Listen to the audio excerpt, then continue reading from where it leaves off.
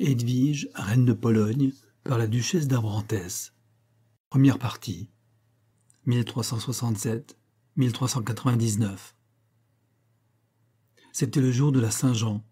Une foule nombreuse remplissait la cathédrale de Bude, non seulement pour y assister à la solennité du jour, mais pour voir, pour la dernière fois, l'orgueil et l'amour de la Hongrie que la volonté de son père exilait sur un trône étranger.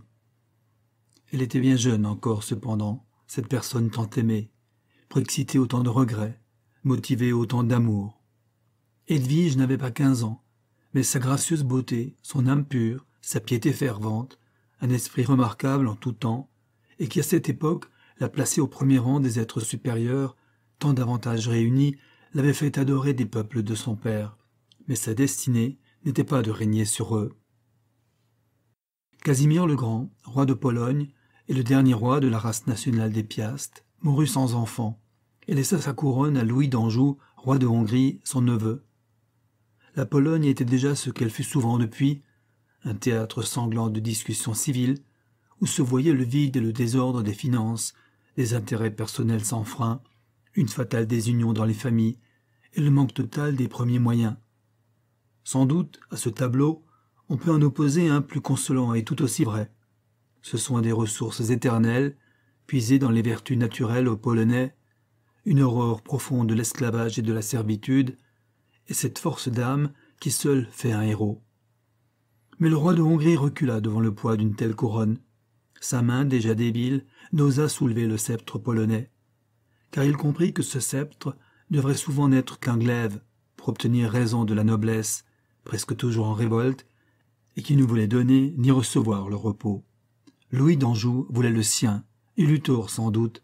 Un prince ne doit pas faire sa destinée, il doit obéir à la voix de Dieu lorsqu'il lui confie celle d'un grand peuple. Et dût-il mourir sur un trône reposant que sur des périls, il ne doit jamais donner lui-même l'exemple de la révolte envers son seigneur et roi. Le maître de toutes les têtes portant couronne. Louis d'Anjou eut le tort de n'avoir pas cette pensée.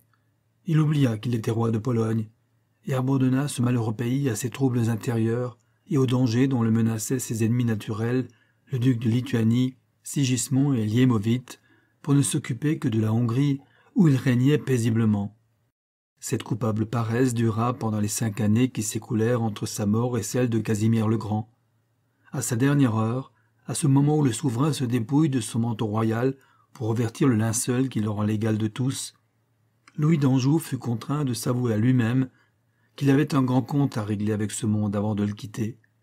Un peuple entier, un grand peuple, loyal, brave, généreux, s'était donné à lui par la volonté de son dernier roi mourant, et le don de tant de nobles créatures était demeuré sans reconnaissance. Cette vérité eût été terrible pour Louis de Hongrie, si le moyen de réparer sa faute, au moins dans l'avenir, n'eût été en sa puissance. Cette pensée s'offrit à lui comme un messager du Dieu de pardon au moment où son œil se reposa sur sa fille Edwige, priant au pied de son lit de mort. Elle était là, comme une belle sainte, les mains jointes, le regard baissé, la tête inclinée et tout environnée comme d'un nuage pieux, tandis qu'elle récitait tout bas de ferventes prières. À côté d'elle était un beau jeune homme à peine âgé de vingt ans. Comme Edwige, il priait à genoux. Comme elle aussi, il priait en pleurant. Ils étaient jeunes, tous deux, et la vue de la mort d'un père attaquait toutes les parties vulnérables de leur âme. Ce jeune homme qui priait et pleurait avec Edwige était presque un fils pour le roi de Hongrie. C'était le duc Guillaume d'Autriche, le fiancé devant Dieu et les hommes de sa fille Edwige. Elle marcha à peine que tous deux furent couchés dans le même berceau, et les saintes fiançailles consacrèrent leur union. Depuis ce moment, le duc Guillaume et la princesse Edwige furent élevés ensemble et ne se quittèrent plus. Mais à mesure que les années ajoutaient à la raison du jeune homme, elle développait aussi les grâces et la beauté d'Edwige. Alors Guillaume sentit que s'il n'eût pas été le fiancé d'Edwige, le but de sa vie eût été de le devenir. Bientôt il aima sa fiancée de toute la puissance d'une âme naturellement passionnée, et son amour redoubla de force lorsqu'il eut la certitude que lui aussi était aimé comme il aimait.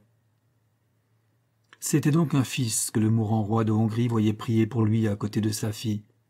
Il pouvait réparer le passé par un avenir d'espérance. Donner Edwige pour reine à la Pologne, c'était plus qu'une espérance même, c'était une certitude de bonheur. Lui donner un roi comme Guillaume, c'était en même temps assurer et la gloire et la sûreté du pays. Louis nomma donc son héritière pour la couronne de Pologne, sa fille Edwige, et mourut en paix avec lui-même et avec Dieu, l'an de grâce 1382, cinq ans après son oncle Casimir le Grand. La reine Élisabeth, veuve du roi Louis, demeura régente et chargée d'exécuter les dernières volontés du roi son mari. Le sort de ses filles était fixé. Edwige devait épouser Guillaume d'Autriche, et Marie, l'aînée des deux princesses, était promise à Sigismond de Luxembourg, marquis de Brandebourg, qui depuis fut roi de Bohême et puis empereur. Hélas, l'avenir de Marie était marqué d'un saut funeste. Depuis l'enfance, elle aussi avait été fiancée à Sigismond. Elle espérait le bonheur comme sa sœur, et l'infortuné ne trouva au bout de sa course de jeune fille que le désespoir, l'infidélité et l'assassinat. Élisabeth n'était qu'une faible femme. Lorsqu'il fallut se séparer de sa fille, de son enfant bien-aimé, pour la livrer à des soins inconnus, son âme faiblit, et les demandes réitérées de la Pologne demeurèrent sans réponse, toutes les fois que les ambassadeurs sollicitaient au nom de la nation l'arrivée de la reine dans sa nouvelle patrie. Edwige elle-même redoutait ce départ. Le nom de la Pologne prononcé devant elle la faisait tressaillir, et elle demandait chaque matin à Dieu la force de s'arracher de la Hongrie, et chaque jour elle avait moins de courage. Enfin, une dernière ambassade partit de Cracovie pour Bude. Les affaires prenaient une couleur fâcheuse en Pologne. Rebutés par les délais répétés qu'on apportait à l'arrivée de leur jeune souveraine, les Polonais se partageaient déjà en plusieurs factions. Sigismond de Luxembourg, beau-frère d'Edwige, se présenta lui-même comme prétendant à la couronne. Liémovite, duc de Massavik, fut même élu roi par une diète de petite noblesse. Mais la majorité du pays était pour Edwige, seulement il fallait qu'elle prît possession d'une couronne trop longtemps dédaignée en apparence. Lorsque cette dernière ambassade arriva à Bude, Edwige comprit que pour cette fois, elle n'obtiendrait aucun délai. Son désespoir fut sans mesure. Des pressentiments sinistres ne lui montraient qu'un avenir malheureux. Elle se jeta dans les bras de sa mère en pleurant avec sanglots. Ma mère, lui criait-elle, ma mère, ne repoussez pas votre enfant. Ne m'exilez pas dans cet autre pays. Gardez-moi près de vous. Je resterai avec Guillaume. Vous aurez vos enfants près de vous. N'est-ce pas, Guillaume, que vous le voulez aussi Et la séduisante créature souriait à son amant au travers de ses larmes, en lui donnant une de ses mains, tandis que l'autre, passé autour du cou de sa mère, la rapprochait d'elle en l'embrassant. Guillaume ne lui répondait pas, mais ses yeux attachés sur elle avec une expression déchirante étaient plus éloquents que des mots pour celle qu'il aimait, mais elle voulait entendre sa voix. Ma mère, dit-elle à la reine, pourquoi Guillaume ne me répond-il pas Eh, que puis-je vous dire? répondit enfin le jeune homme, que vous ne sachiez comme moi. Vous partez. Vous quittez la Hongrie pour aller subir la volonté d'un conseil qui sera votre maître. On voudra choisir votre époux. Et vous voulez que je vous parle, Edwige? Vous le voyez bien, je n'ai rien à vous dire. Edwige ne parut pas émue des paroles de Guillaume. Elle se tourna vers lui et souriant avec tout le charme d'un cœur plein d'amour qui veut rassurer, elle lui dit Mais mon ami, vous avez une crainte insensée. Que vous souffriez de me voir partir, je le conçois. Je souffre bien aussi, moi mais que vous laissiez aller jusqu'à craindre une chose impossible, voilà ce que je ne veux pas. Me choisir un autre époux. Mais est-ce que cela se peut? Ne sommes-nous pas unis devant notre Sainte Mère l'Église? N'avons-nous pas reposé sur le même chevet? C'est impossible, vous le voyez bien. Et puis Guillaume, si la Pologne voulait mettre sa couronne à prix, et surtout un tel prix, je lui ferai voir qu'une jeune fille peut préférer le bonheur du cœur à celui du trône. Et ce ne serait pas un sacrifice, voyez-vous? Je suis si heureuse comme je suis maintenant. Quel bonheur peut me faire sourire Pourquoi même laisser supposer que je puis être plus heureuse Guillaume. Oh oui, c'est cela. Si je refusais dès à présent la couronne de Pologne, mais. Et toute rouge, toute palpitante, elle se pencha sur sa mère et lui dit bien bas Je rendrai bien cette couronne, mais Guillaume, il faut qu'il règne, lui. Il fera un si grand roi. Mes enfants, dit la bonne reine, vous êtes tous deux bien déraisonnables. Mais vous vous aimez. Cela explique tout. Pauvre Edwige, poursuivit-elle en passant une main caressante sur sa belle chevelure relevée en natte le long de ses joues et sur le sommet de sa tête. Pauvre Edwige. Tu crois que la chaîne qui attache les rois au trône est facile à briser? Pauvre enfant. Il faut une autre main que la main de jeune fille pour rompre un tel lien. La volonté de ton père mourant t'a donné à la Pologne. Tu dois obéir. Mais pourquoi craindre? Pourquoi redouter un malheur qui est impossible, comme vous le dit Edwige, Guillaume? Il faut qu'elle parte. Il faut que la reine de Pologne aille se faire connaître à ses peuples. Mes enfants, mes enfants, ne pleurez pas ainsi, disait la bonne reine en les serrant tous deux dans ses bras, pour apaiser la violence de leur douleur. Croyez-vous donc que je ne souffre pas aussi de me séparer de ma fille bien-aimée? Hélas, une voix me crie dans l'âme que je ne la reverrai plus. Edwige aimait sa mère avec une tendresse profonde, et son amour pour son fiancé avait cette force de passion qu'une âme aimante comme la sienne devait apporter dans une semblable affection. Mais quelque dominée qu'elle fût par cette même tendresse et cette même passion, tout demeura muet devant le mot devoir, aussitôt que sa mère eut évoqué l'ombre de son père venant lui renouveler sa dernière volonté. Je partirai, dit la courageuse enfant, mais je ne serai pas longtemps séparée de toi, Guillaume. Tu peux te reposer sur moi du soin d'abréger notre mutuel exil. Aussitôt que la résolution de Hedwige fut arrêtée, le conseil de la reine de Hongrie en prévint les ambassadeurs de Pologne, et tout se disposa pour le départ de leur jeune souveraine. En apprenant qu'elle allait enfin les quitter, les habitants de But furent affligés comme si un malheur personnel eût frappé chaque famille. La bonté active, la charité, la continuelle surveillance de la jeune princesse furent alors connus dans tout leur éclat, et ce fut par les larmes dont les malheureux habitants de But baignèrent son passage lorsqu'elle les quitta que les nouveaux sujets comprirent la valeur du trésor qu'ils enlevaient à la Hongrie. Les adieux furent déchirants. Monsieur le cardinal, dit Élisabeth au cardinal de Strigoni, chargé de conduire Edwige à Cracovie, je vous confie la moitié de ma vie. Edwige reçut à genoux la bénédiction maternelle. Ses larmes coulèrent en silence sur les mains de la reine, mais ce fut la dernière marque de faiblesse qu'elle donna, et lorsqu'elle se releva, la trace de ses larmes était le seul indice qui révélait une âme brisée, mais cette âme était grande et forte. Lorsque la nouvelle de son arrivée se répandit en Pologne, la joie fut universelle, on ne l'espérait plus, et sa venue fut regardée comme un bienfait du ciel. Les prélats et les premiers seigneurs de la Pologne quittèrent Cracovie et furent au-devant d'elle pour lui faire rendre plus d'honneur que jamais souverain n'en avait reçu en Pologne. Les chemins étaient couverts de peuples accourant de l'intérieur des terres pour voir cette jeune fille si belle, si charmante, souriant à tous sous sa lourde couronne, de même qu'elle l'eût fait folle et joyeuse sous un chapeau de fleurs.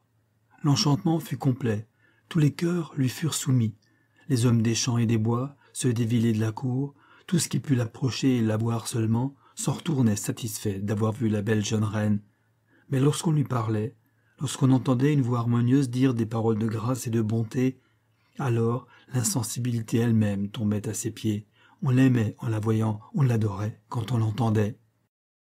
La puissance du charme qu'elle exerça d'abord sur la nation polonaise fut surtout visible au moment de son couronnement. L'enthousiasme fut si général et si spontané que la Pologne entière, par ses représentants, manifesta le désir de n'avoir qu'elle pour reine. Aucune condition ne lui fut donc imposée, et le 15 octobre de l'an 1385, jour de Sainte Edwige, fête solennelle de sa patronne, la reine se fit couronner dans la cathédrale de Cracovie avec toute la pompe et la magnificence que l'époque permettait.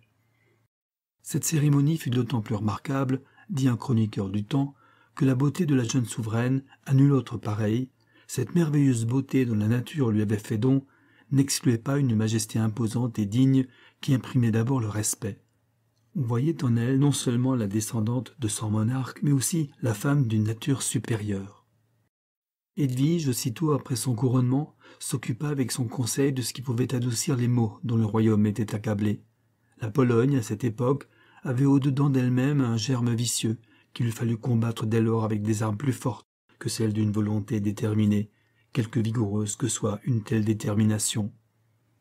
La Pologne, au temps de Edwige, était régie par une constitution tout autre que celle que nous voyons aujourd'hui. Le pouvoir y était absolu en apparence, et la royauté héréditaire de fait. Alors, ces assemblées générales où se rendait cette multitude de gentilshommes à cheval, armés, et venant exercer dans un camp une puissance législative. Ces assemblées, les diètes, comme on voudra les appeler, étaient fort rares, et les diètes par député n'avaient pas lieu. Ceci est important à savoir pour ceux qui suivent avec attention les révolutions de la Pologne. La liberté des Polonais n'a pas eu chez eux de première époque, bien avant que leur nom fût connu dans l'histoire des nations, ils possédaient ce bien sans lequel l'homme ne peut jouir d'aucun autre. Ils ont toujours été libres, enfin. Les monuments sont rares en Pologne. Un seul existe encore et montre ce que la nation polonaise était, à une époque à laquelle nous ne lui supposons pas même une existence. Ce monument est un fossé qui marque la limite de l'Empire romain, et que ce géant envahisseur creusa lorsqu'il pénétra jusqu'au travers des steppes du Nord. Ce qui forma dans l'origine le premier noyau de la nation polonaise ou slave ne fut donc jamais subjugué, même par les Romains, ainsi que l'indique ce fossé.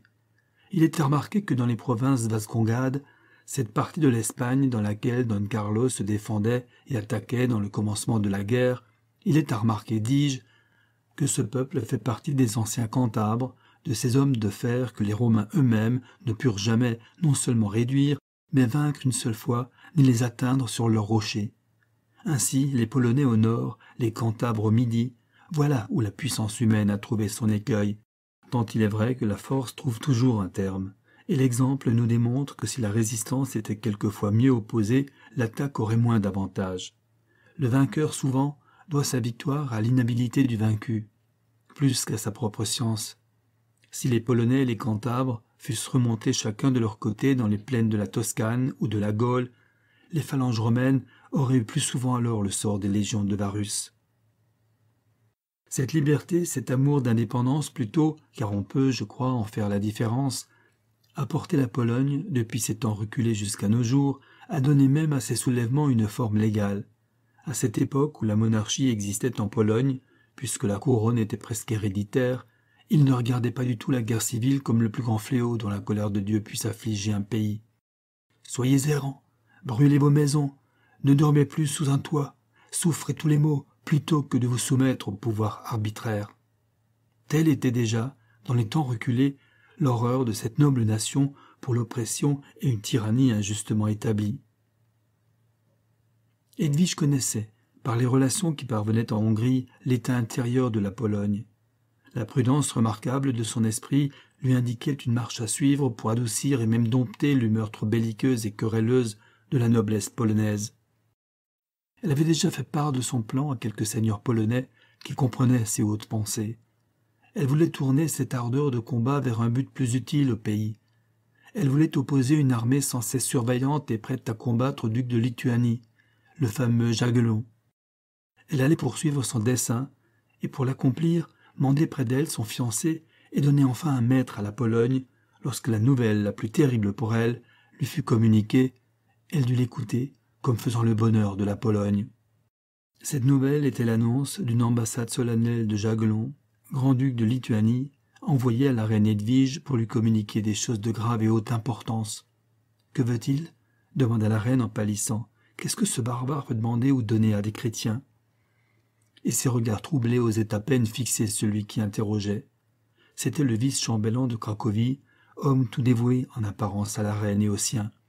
Il ne parut pas vouloir répondre d'abord à la demande de la reine, mais comme elle le pressait, il avoua que le motif de l'ambassade était connu et que le chef des ambassadeurs était Skirgiello, frère du grand-duc lui-même. Eh bien, dit Edwige, poursuivez. Eh bien, madame, il vient demander votre main pour son frère. Edwige devint pâle comme la mort. Ma main, cet homme, mais il est insensé. Il ne sait donc pas que je suis marié et de sa douce voix elle tâchait de prononcer fortement cette parole pour lui donner plus d'importance. Gnievose sourit sans répondre, son silence était éloquent. Edwige le comprit, sa fierté s'en irrita. Je suis fiancée solennellement à Guillaume, duc d'Autriche, répéta-t-elle avec la même force, et je ne lui serai parjure pour aucune considération. Mais vous devez voir l'ambassadeur, madame, vous le devez. Et il appuya sur ce mot, vous le devez, parce qu'avec le titre et la prétendue volonté libre du roi ou de la reine, le pouvoir royal était entravé sans cesse par l'autorité des seigneurs polonais, comme nous allons le voir plus loin. Edwige reçut l'ambassade de Jaglon assise sur son trône, entourée de sa cour et dans tout le luxe de sa merveilleuse beauté, et d'une magnificence que le bon goût de la femme doublait dans le plus petit détail. Schergiello fut ébloui. Il demeura quelques moments devant cette reine de quinze ans, dont la majestueuse attitude recevait un contraste frappant de sa beauté toute gracieuse. Skirgiello s'inclina par trois fois devant le trône de cette souveraine qu'il venait demander pour sœur. Reine, lui dit-il. Il y a longtemps que de grands princes, des rois même, ont sollicité notre puissant souverain d'embrasser la foi du Christ. C'est pour parvenir à ce but que les chevaliers teutoniques lui font la guerre. Il s'est toujours refusé à la persuasion et a résisté, l'arme à la main, lorsque la force a voulu l'y contraindre. Ce que la force n'a pu faire, ce que la persuasion n'a pu opérer, la vue de votre portrait l'a accompli. C'est à vous, noble reine, que l'œuvre de la conversion de tout un peuple est réservée. Dites un mot, que ce mot soit un consentement, et dix millions d'habitants chanteront aussitôt les louanges de votre Dieu. Acceptez pour époux le grand Jaglon. Il vous sera un noble et sûr appui. Son épée n'est pas vierge dans le fourreau. Elle connaît le chemin du cœur d'un ennemi. Les vôtres seront les siens, madame. Mon noble frère et seigneur s'engage en outre à rendre tous les captifs chrétiens qu'il a faits dans ses guerres contre la Pologne et ses alliés. Il donnera à votre royaume toutes ces terres de Lituanie, la Samogiti et tout ce qu'il possède à titre de souverain. Il promet aussi de reprendre, pour la Pologne, la Poméranie, la Silésie et les autres provinces dont on l'avait dépossédé. De plus, ici l'ambassadeur, quelque assurance qu'il lui montrait jusque-là, parut embarrassé. Cependant il reprit. Mon noble seigneur et frère s'engage aussi à rendre au duc Guillaume d'Autriche les deux cent mille florins qu'il a reçus pour art de son union avec vous. En entendant ces derniers mots, Edwige pâlit et ne put répondre que par quelques sons inarticulés et confus, parmi lesquels on put néanmoins distinguer qu'elle consulterait son conseil. C'était plus que n'osait espérer l'ambassadeur. Il savait que les seigneurs polonais voulaient non seulement l'union lituanienne, mais rejetaient celle du duc d'Autriche. Edwige, pâle et tremblante, congédia l'ambassadeur et se retira dans ses appartements intérieurs, sans même daigner regarder les superbes présents offerts par le grand-duc de Lituanie. À peine Edwige fut-elle seule que sa douleur, trop longtemps contenue, éclata avec violence. Elle rejeta loin d'elle ces ornements royaux, preuve de son esclavage, et qui, même loin de cette cour qui tout à l'heure semblait, en l'adorant, lui prescrire son devoir, lui disait Tu ne t'appartiens plus. Oh s'écriait-elle en pleurant avec sanglots. Le voilà donc réalisé, ce pressentiment sinistre qui troublait Guillaume au moment de la séparation. Pauvre ami, tu avais raison de craindre. Il me fallait demeurer à Bude. Oh, cette Pologne. Et quoi? Faudrait-il donc me laisser sacrifier sans élever la voix? Oh, ma mère, ma mère Et je suis ici seul et sans conseil. Mais Guillaume compte sur moi. Je dois être forte pour tous deux, et je le serai. Mais cette force qu'elle invoquait au moment du danger lui refusait son secours. Elle n'était plus qu'une femme faible et maîtrisée par l'amour, et ne pouvait que pleurer lorsqu'il fallait agir. C'étaient des actions qu'il fallait, et non pas des larmes, car ses ennemis agissaient pendant qu'elle pleurait. Elle le savait, et cette pensée la troublait encore. À genoux devant son prie-dieu, à moitié revêtu de ses vêtements royaux, dont le brocart brodé de pierreries est également couvert de ses larmes qui roulent silencieusement sur ses joues pâles, Edwige prie Dieu avec ferveur de l'éclairer sur ce qu'elle doit faire dans ce pressant danger. Hélas, la prière elle-même ne lui offrait aucun secours. N'était-ce pas au nom de Dieu qu'on venait lui demander de renoncer au bonheur? N'était-ce pas au nom de celui qui a tout souffert pour nous? Pouvait-elle lui demander de lui épargner une douleur? Tout à coup une pensée traverse son esprit. Cette pensée, c'est peut-être son salut. Oui, oh mon Dieu, s'écrie-t-elle en se précipitant à genoux, je vous remercie. Et je vous avais méconnu. Edwige se relève et appelle une de ses filles. L'activité remplace l'inertie douloureuse qui l'accablait tout à l'heure. Elle sent d'ailleurs qu'il faut agir, et dans l'instant. Thérèse, dit-elle à la jeune fille stupéfaite à la vue de l'état où elle trouve sa maîtresse. Thérèse, tu m'es dévouée, et je puis compter sur toi. La jeune Hongroise s'inclina sur la main de sa maîtresse et la serra sur son cœur après l'avoir pressée de ses lèvres. Oui, tu m'es fidèle, toi, ma compatriote, tu n'es pas de ce peuple qui me demande mon bonheur pour prix du sien. Thérèse regarda sa maîtresse. Oui, ma fille, il me demande de renoncer à Guillaume, moi, renoncer à mon fiancé, mon mari, car il est mon mari, n'est-ce pas, Thérèse? Monseigneur, s'écria la jeune fille, et madame, qui peut donc en douter? Oui, n'est-ce pas? N'est-ce pas qu'il est bien mon mari? Mon Dieu, vous le savez puisque nous sommes fiancés devant vous. Eh bien, Thérèse, ils veulent me marier à un autre, à ce païen de Jaglon, il se fera chrétien, disent-ils, que m'importe à moi, il ne l'est pas, et mon Guillaume est pieux comme un ange, et beau comme lui. Les sanglots l'étouffaient. En ce moment, la reine de Pologne n'était plus qu'une fille de quinze ans, dont le cœur et l'âme de flamme n'avaient qu'un sentiment pour un seul amour. Elle aimait comme on respire pour exister, et c'était à cette fille dévouée à sa passion qu'on venait demander de se sacrifier pour une cause politique. Thérèse, poursuivit-elle en rejetant par un mouvement brusque et pourtant gracieux les tresses mêlées de perles et de diamants qui voilaient ses yeux, il faut que ton frère Albert parte à l'heure même pour Bude et qu'il remette cette lettre au duc Guillaume, qu'il parte à l'instant. Voilà de l'or, beaucoup d'or. Tiens, voilà aussi un ordre pour qu'on lui donne le meilleur cheval de mes écuries, et un autre ordre pour que sur la route il n'en manque jamais. Pars donc, malheureux enfant, va, et dis à Albert qu'il descende à Bude directement chez le duc Guillaume. Qu'il remette cette lettre et me rapporte une réponse. Va donc, cours. Thérèse, comment ne comprends-tu pas que c'est pour moi une question de vie et de mort? Oui, se dit-elle, après que la jeune fille se fut éloignée en courant. C'était le seul parti que j'avais à prendre, le seul moyen de sortir de cet état d'horrible incertitude. Guillaume, une fois près de moi, je suis sauvé. Les jours s'écoulèrent dans une attente qui, pour Edwige, était une douleur incessante qui la tuait. La malheureuse enfant comptait plus que les jours, elle comptait les heures. Un soir, elle était dans une chambre intérieure de son appartement qui donnait sur un jardin réservé pour l'usage particulier de sa promenade, et semblait plus triste encore que de coutume. En effet, le silence qu'avait gardé Albert était inquiétant. La reine, au lieu de se rassurer, se créait de nouvelles inquiétudes. Elle fuyait les personnes les plus habituées de sa cour pour venir pleurer en liberté dans cette chambre retirée, ou du moins elle trouvait le repos et le silence. Elle pleurait ce même soir, avec une douleur qui était voisine du désespoir, lorsque Thérèse de la chambre voisine, qui était la sienne, s'écria Voilà mon frère. Edwige se leva aussitôt et courut au devant d'Albert. En arrivant à la porte de sa chambre, elle se trouva vis-à-vis un homme d'une taille élégante enveloppé d'un manteau, qui la reçut dans ses bras la pressa fortement sur son cœur. Guillaume, s'écrie-t-elle, et dans l'ivresse de sa joie, elle ne peut contenir les mouvements de son âme vive et passionnée, elle se jette de nouveau dans les bras de son fiancé en lui disant tout ce qu'elle a souffert et son bonheur de le revoir. Car c'est bien lui, c'est bien Guillaume, c'est bien son ami, son seul, son unique ami. Elle répète mille fois cette parole pour que cette certitude enveloppe le cœur de celui qu'elle aime et qu'aucune inquiétude ne trouble ce moment si heureux pour tous deux. Guillaume, c'est donc toi, mon ami, déjà toi. Je n'attendais qu'Albert. Comment donc es-tu venu si vite? Vous attendiez Albert, et vous êtes étonné de me voir, Edwige. Comment tu es étonné que je fasse ce qu'Albert aurait fait?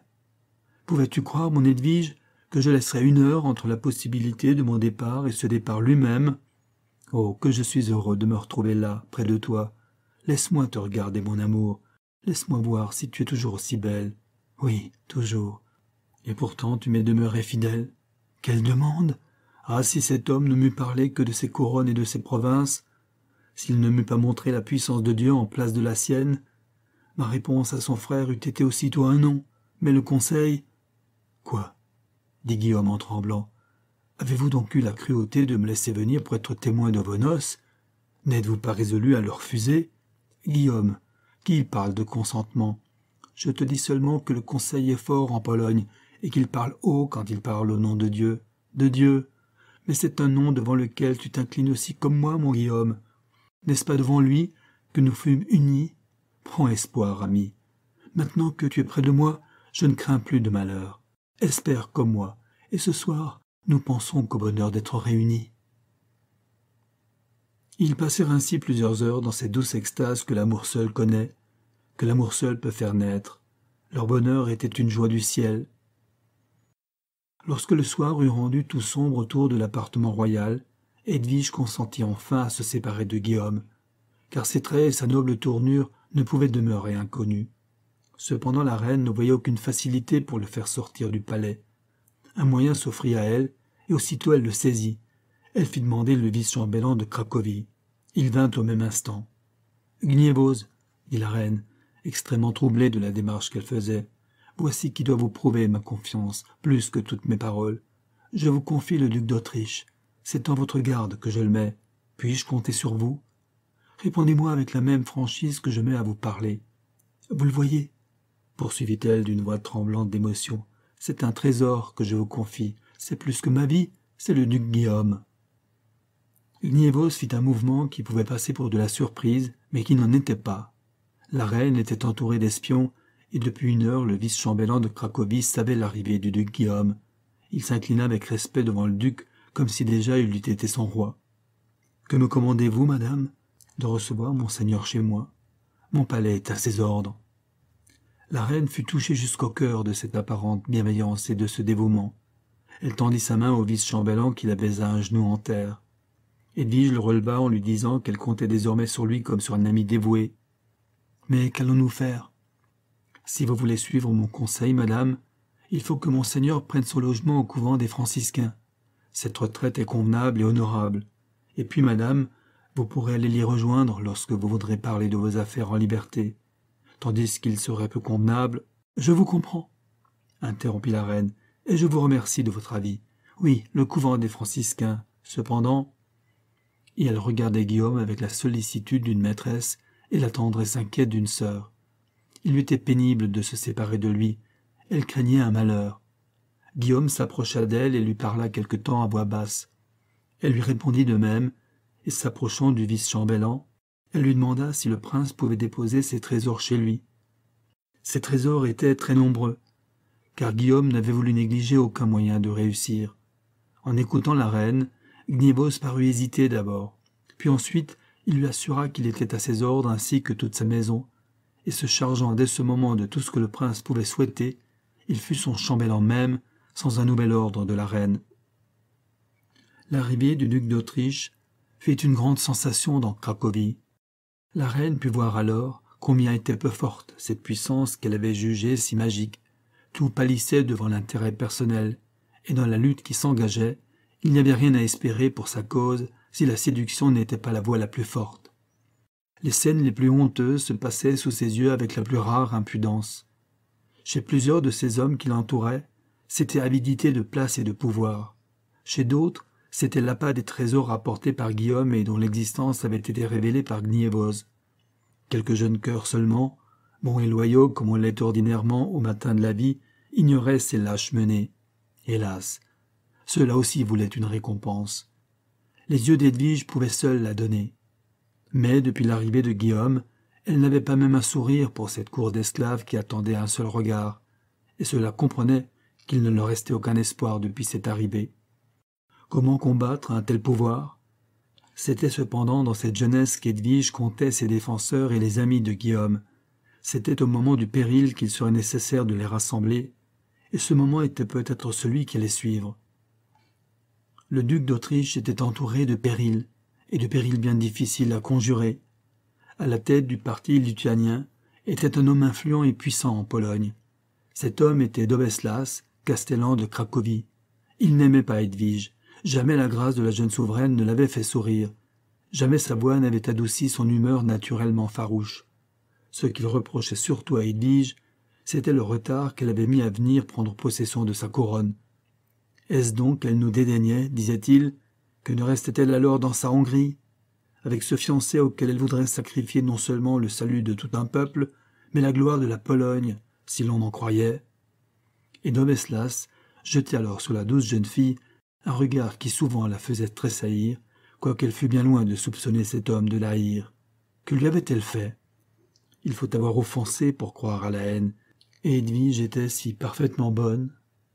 Lorsque l'ambassade de Jaglon arriva à Cracovie, le Castellan se prononça ouvertement pour l'acceptation et pour que la reine se décida immédiatement à rompre avec le duc d'Autriche, afin de donner au grand-duc de Lituanie une sorte de réparation dans le cas où la parole royale ne serait pas une réponse à ces généreuses propositions.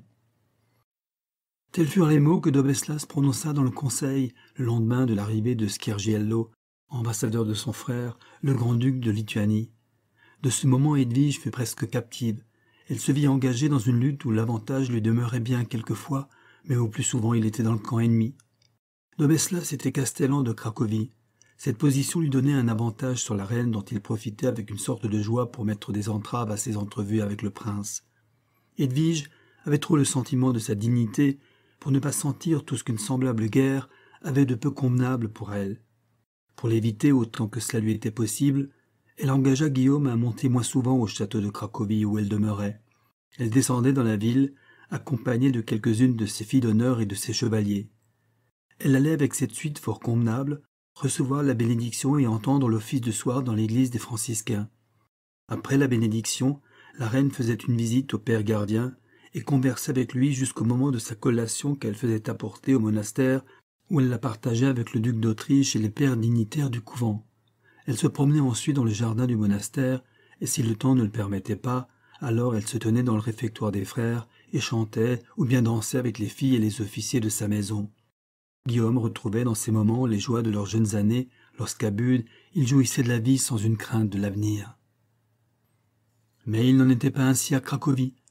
Au milieu de la sécurité la plus complète, Edwige reçut la nouvelle que Jaglon avait envoyé une ambassade solennelle à Bude pour demander, au nom de Dieu et de la chrétienté, le consentement d'Élisabeth. Faire un appel au nom de Dieu et de la chrétienté était un moyen presque certain pour réussir auprès de la reine de Hongrie, faible et superstitieuse, entourée de prêtres qui redoublaient l'infirmité de sa nature. Elle ne vit dans le parjure qu'on lui demandait qu'une action agréable à Dieu. Ce fut en vain que sa fille lui écrivit en lui demandant une seconde fois la vie, la suppliant d'avoir pitié d'elle. Et puis, répétait la pauvre enfant, je suis fiancée avec Guillaume. Nous avons reposé dans la même couche, nous sommes époux. C'est donc un adultère qu'on me commande. La République chrétienne demande cette union, disait Jaglon. Le lendemain de mes noces, Dix millions d'âmes reconnaissent la foi du Christ. Ce mot perdit Edwige. Jaglon avait pour elle un sentiment qui est toujours victorieux de tous les obstacles qu'on lui oppose, lorsque celui qui l'éprouve possède une volonté ferme et décidée. Il aimait Edwige avec passion, et cette passion avait un caractère romanesque, car il ne l'avait jamais vue, et ce n'était que sur un portrait comme on en faisait alors, que le grand-duc de Lituanie s'était épris d'amour pour la reine de Pologne. Il avait ensuite recueilli avec avidité tous les discours que tenaient sur elle les voyageurs, même les moins apparents, et tous s'accordaient à la proclamer la plus charmante, la plus belle, la meilleure des femmes. Un tel concert de louanges frappa d'abord son esprit étonné et lui inspira un vif sentiment d'admiration. Mais lorsque son frère, après avoir vu Edwige, après l'avoir entretenue, lorsque Skirgiello écrivit à son frère Quelle que soit la louange qu'on ait faite sur cette femme étonnante, elle est au-dessous de la vérité. C'est un ange, mais un ange de douceur et de bonté. Ces femmes, celles qui sont auprès d'elle pour son service intérieur, la servent en l'adorant. Voilà de toutes les louanges que j'ai entendues ici sur elle, celle qui me donne le plus de confiance pour ton bonheur. Je ne crois pas d'ailleurs qu'un regard pur comme le sien puisse tromper, et c'est celui d'un ange. Sa résistance doit te plaire loin de te blesser. Que penserais-tu d'une femme qui abandonnerait son amant, renoncerait à la foi jurée et deviendrait adultère au nom de Dieu, tu la mépriserais, mon noble frère, toi dont l'âme est dévouée à la gloire et aux nobles choses. Attends en paix que cette jeune fille comprenne ce qu'il y a de grand et d'avantageux dans ton alliance. Crois-moi, cette femme est conduite à ta couche par la main de Dieu, et le sien et le tien, bonheur est dans cette union. C'est ainsi que la passion de Jaglon s'était formée dans son âme. Ces instances redoublèrent donc de force, et la reine de Hongrie fut enfin vaincue, elle répondit qu'elle consentait à ce que sa fille agît pour le mieux dans l'intérêt de l'Église. En apprenant ces décisions, Edwige comprit qu'elle était perdue, si elle ne trouvait pas en elle-même son propre salut. Elle prit une résolution, et cette fois ne la confia qu'à Guillaume. Au retour de l'ambassade de Jaglon à Bude, Dobeslas, fier du consentement d'Élisabeth, fit convoquer une diète, à Cracovie même, dans laquelle furent appelés tous ceux qui n'aimaient ni Edwige ni le duc d'Autriche, Edwige laissa former cette diète, bien résolue de passer outre et de conclure son mariage. Cette détermination fut surtout prise entre elle et le duc d'Autriche en apprenant que Jaglon, appelé par les barons du conseil, allait lui-même arriver à Cracovie. Edwige, dont l'amour avait pris de nouvelles forces dans la longue intimité dans laquelle elle avait vécu avec Guillaume depuis qu'elle l'avait appelé près d'elle, était déterminée à tout braver pour s'unir à lui. Tout fut résolu et le jour même fut fixé. Mais pour l'exécution de ce projet, il fallait que le prince et la reine se vissent souvent, et cela était difficile à cause des entraves suscitées par Dobeslas Castellan de Cracovie. Edwige souffrait cruellement de cette contrainte. Elle souffrait comme femme et comme souveraine, car la dignité de l'une était froissée si l'âme de l'autre était atteinte. Mon Dieu, disait la pauvre enfant, je n'ai pas encore seize ans, et j'ai déjà tant souffert. Un soir, Edwige était légèrement indisposée, et ne pouvait aller au couvent des franciscains. Il était cependant urgent qu'elle parlât à Guillaume, mais il était tard, et l'introduire dans le château était une chose difficile. La reine fit venir Albert son premier page. Albert, dit-elle au jeune homme intelligent et dévoué, il faut que je parle au duc d'Autriche ce soir même, entends-tu? Le page s'inclina. Cours, et surtout sois prudent. Fier et joyeux d'être une seconde fois jugé digne de la confiance de sa royale maîtresse, Albert jura de la mériter. Il se rendit au monastère et communiqua son message à Guillaume, qui fut aussitôt prêt à le suivre. Il prit une bonne épée et se couvrant d'un grand manteau brun, il suivit le page, et en quelques minutes ils furent devant le château. Mais si Albert était fidèle, tout ce qui entourait la reine ne l'était pas également. À peine le jeune homme et le duc d'Autriche avaient-ils franchi la première enceinte royale que Dobeslas se présenta à eux en leur barrant le passage. Quel est cet homme? dit-il à Albert, en indiquant de la main son compagnon. Un étranger que je conduis à ma maîtresse d'après ses ordres. Tu mens. Je mens, s'écria l'enfant devenu homme en un moment, et d'un saut se trouvant en face de Dobeslas, il lui lança des regards de feu. En cet instant, il avait dix pieds. Enfant, dit Dobeslas, éloigne-toi, et laisse répondre cet homme pour lui-même. Cet homme ne vous répondra pas parce qu'il ne doit pas vous répondre. Ma maîtresse nous attend. J'ai déjà perdu trop de temps avec vous. Livrez-moi donc passage. Au nom de la reine, monsieur. Et joignant l'effet aux paroles, il tenta le passage en faisant signe au duc de le suivre. Mais le Castellan, irrité de la résistance qu'il trouvait, saisit brutalement le jeune homme et le jeta sur le côté du chemin. Au cri de douleur et de rage que poussa Albert, Guillaume s'avança vers Dobeslas en rejetant son manteau en arrière. Pourquoi frapper cet enfant, monsieur? dit le prince au Castellan, avec ce ton de maître qu'il savait avoir le droit de prendre. Monseigneur, je remplis les devoirs de ma charge. Le couvre-feu est sonné. Personne n'a le droit de demeurer dans le palais s'il n'y reste tout à fait. Il appuya insolemment sur ce dernier mot. La reine, votre maîtresse, ne peut être soumise à ce règlement, monsieur. Elle m'a mandé près d'elle. Livrez-moi le passage, ou je me ferai faire place. Le Castellan fit un signe, et une herse fut aussitôt abaissée entre la cour intérieure et le lieu où ils étaient. La petite porte de la poterne resta seule ouverte. Je serai honoré de croiser le fer avec vous, monseigneur, répondit de Beslas, mais une menace ne me fera pas dévier de la route de mon devoir. Guillaume avança sur le castellan. Celui-ci tira son épée et on abaissa tout aussitôt la pointe vers la terre. Mais son attitude était hostile. Le duc d'Autriche fut aussitôt que lui à la porte de la poterne et voulut y passer. La lutte s'engagea presque corps à corps et allait être sanglante lorsqu'attirés par les cris de Guillaume, Niévose et quelques autres barons accoururent sur le lieu de la scène. Il était temps pour Dobeslas car Guillaume allait à lui l'épée haute.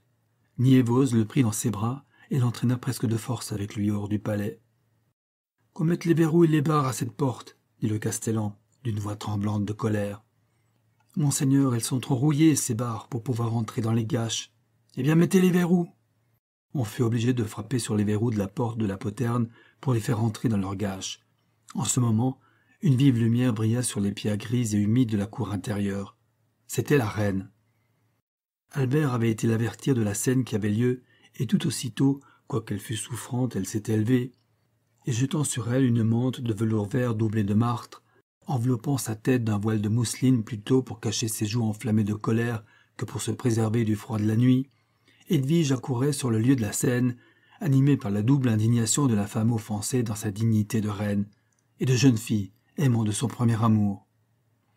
Elle n'était suivie que par deux de ces femmes qui portaient des torches de cire blanche parfumée, et d'Albert prêt à défendre sa maîtresse au péril de sa vie.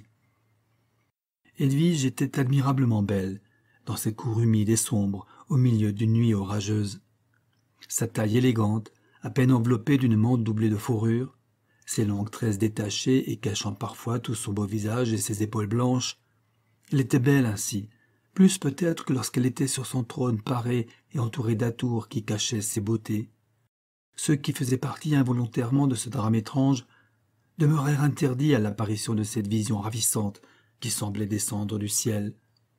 En arrivant auprès de la poterne que Dobeslas venait de faire fermer, elle jeta sur lui un regard de mépris et de courroux, et marchant vers la porte, elle porta elle-même la main à la serrure et voulut l'ouvrir, mais la porte résista. Ouvre cette porte, dit-elle au portier. Celui-ci regarda le Castellan qui fit un signe négatif. Insolent s'écria la reine, qui surprit son regard. Le couvre-feu est sonné, madame, et la règle veut, vous le savez, que les portes soient fermées à cette heure. Je ne fais que mon devoir en la faisant observer. Il est d'ailleurs plus que l'heure de la retraite. Et s'enveloppant de son manteau, il s'éloigna après avoir renouvelé l'injonction au portier de n'ouvrir à personne avant le jour. La reine fut d'abord frappée de stupeur. Ensuite, elle crut rêver. Était-elle toujours dans cette même Pologne qui, quelques mois avant, l'avait accueillie avec tant d'amour?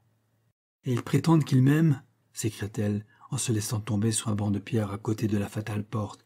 Ils disent qu'ils m'aiment Quel amour Que ferait de plus la haine? Non, non, il faut choisir, partir ou rester. En rentrant aussitôt en elle-même, elle jeta un coup d'œil rapide sur cette route qu'elle devait parcourir comme esclave couronnée, sans pouvoir, sans celui de faire respecter ce qu'elle aimait. Ah s'écria-t-elle, le choix n'est pas douteux. Et saisissant une petite couronne qui surmontait sa coiffure et qu'elle n'avait pas eu le temps d'enlever lorsqu'elle était venue, elle la lança loin d'elle avec colère. Va, dit-elle, sois maudite, toi qui jamais n'amena une joie sur mon front, ni sur mes lèvres un sourire, va, et que j'éloigne avec toi, s'il est possible, le malheur et les larmes. Et je n'ai pas seize ans, répétait-elle en sanglotant. Tout à coup, elle se releva impétueusement, et rejetant ses cheveux en arrière par un mouvement plein de grâce, elle dit Je ne suis plus reine de Pologne maintenant. Je suis une femme libre. Je veux sortir de mon royal cachot. Ouvrez-moi la porte de cette cage dorée. Ouvre Te dis-je répéta-t-elle vivement au portier qui considérait cette scène étrange comme un rêve qu'il faisait.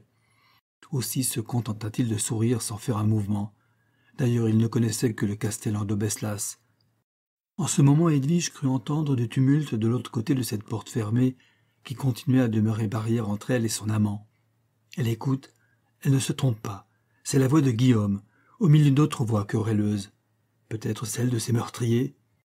Guillaume, Guillaume, je suis à toi, attends-moi, je viens. En ce moment, elle aperçoit une hache énorme à côté d'elle. Elle s'élance, saisit cette arme que dans un autre moment elle n'aurait pas même pu soulever, et frappe à coups redoublés sur les verrous et les chaînes qui ferment cette porte. Mais ses coups ne laissent pas même de traces, tandis que le tumulte produit par une violente querelle parvenait toujours plus bruyant à son oreille. Elle redoublait d'efforts, et toujours ils étaient impuissants. Enfin la force lui manqua, et elle tomba presque privée de connaissance au pied de cette porte au-delà de laquelle était son âme. Dans ce moment, un homme de haute taille, dont les cheveux et la barbe étaient blancs et l'aspect vénérable, arriva sur le lieu de la scène. L'expression de son visage et surtout de son regard en apercevant la reine dans cet état annonçait qu'elle avait en lui un ami. Il se pencha sur son pâle visage, écarta d'une main tremblante les tresses de ses cheveux humides tout à la fois de ses larmes et de la rosée de la nuit, et murmura à son oreille quelques paroles de douce pitié, mais elle ne l'entendit pas. Il voulut la soulever pour qu'elle ne demeurât pas sur cette terre humide et froide, mais il ne put y parvenir avant d'avoir détaché les mains de la jeune fille des verrous rouillés de la porte et de l'âge pesante que l'une d'elles tenait encore. Le cœur du vieillard fut pénétré de cette peine qui vient profonde lorsqu'elle est sentie par la vieillesse, en voyant cette jeune et belle créature dont le front couronné n'avait en ce moment pour bande royale qu'une pâleur de mort. Elle était là comme une belle statue de marbre sur un tombeau, les larmes du vieillard coulèrent alors en abondance sur les mains qu'il tenait dans les siennes pour les réchauffer, car elles étaient glacées. Cette marque de pitié parvint au cœur d'Edwige et la rappela à la vie. Elle aussi pleura. Et lorsqu'elle eut reconnu son vieil ami, elle se jeta dans ses bras en redoublant ses sanglots. Il la laissa pleurer. Il savait que la douleur s'use par les pleurs, et que leur effet est d'alléger le cœur. Étrange nature que la nôtre. Ou pour être moins malheureux, il faut recourir à une nouvelle souffrance. Edwige pleura longtemps sur le cœur de son vieil ami, et puis elle lui demanda des conseils. Et lui, tout débile, accablé sous le poids des années et de ses propres malheurs, il recula devant le courage qu'il serait obligé de demander à une jeune fille de seize ans, dont le front blanc portait une couronne, et qui ne devait connaître que des jours d'amour et de paix. Et lui aussi, il était malheureux, mais il était vieux. Qu'est-ce que sa vie pour la destinée?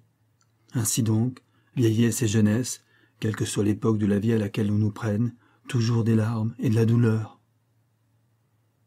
Dimitri parla longtemps à Edwige avec cet accent du cœur qui ne trompe pas et ne donne que de vraies consolations. Mais elle ne lui répondait que par des larmes. Son inquiétude relativement à Guillaume ne lui permettait aucune attention étrangère à lui en ce moment. Elle ne pouvait effacer de son souvenir les cris qu'elle venait d'entendre. le nom de Guillaume sortait de sa bouche pour toute réponse aux paroles de Dimitri. En voyant l'agitation terrible qui la dominait, il se détermina à braver la nuit et l'orage qui grondait avec force pour apporter des nouvelles du duc d'Autriche à la reine. Il la reconduisit dans son appartement, et après l'avoir remise aux soins de ses femmes, il descendit dans la ville et fut au couvent des franciscains. Mais il n'y trouva pas le prince. Gnievose, inquiet pour sa sûreté, l'avait conduit dans son palais et l'y tenait sous la garde de l'hospitalité et de la foi jurée de chevalerie. Dites à la reine que je réponds du duc d'Autriche sur ma tête, dit le vice-chambellan à Dimitri. Celui-ci apprit en même temps que les trésors du prince, qui étaient d'une immense valeur, avaient été de même placés sous la garde de l'honneur de Gniobos. Il était trois heures après minuit lorsque le vieillard revint au palais pour assurer Edwige. Il la trouva couchée sur son lit, ayant non seulement gardé ses vêtements, mais ayant même réparé le désordre de sa toilette pour être prête à courir au secours du duc d'Autriche s'il en était besoin et s'il courait un danger immédiat. En revoyant son beau visage si pâle et si changé par la violence et le choc des passions, le bon vieillard soupira, car il connaissait maintenant comment Edwige pouvait aimer et qu'elle portait avec son affection, et il connaissait aussi la détermination à arrêter les hommes de son conseil, et cette détermination était la ruine de toutes ses espérances. En le voyant approcher de son lit, Edwige n'osa pas lui demander quelles étaient les nouvelles qu'il lui apportait. Ses pressentiments étaient tous sinistres, aussi, lorsqu'il lui dit qu'il n'y avait aucun sujet d'alarme ni d'inquiétude, elle s'élança hors de son lit et se jetant dans ses bras, elle le couvrit de larmes et de caresses comme une fille remerciant un père d'un bonheur inattendu. Oh disait-elle en baisant ses cheveux blancs et les mouillant de ses larmes, est-ce donc vrai? Vous ne me trompez pas Je ne tromperai pas mon ennemi. Jugez, madame, si je tromperais ma souveraine.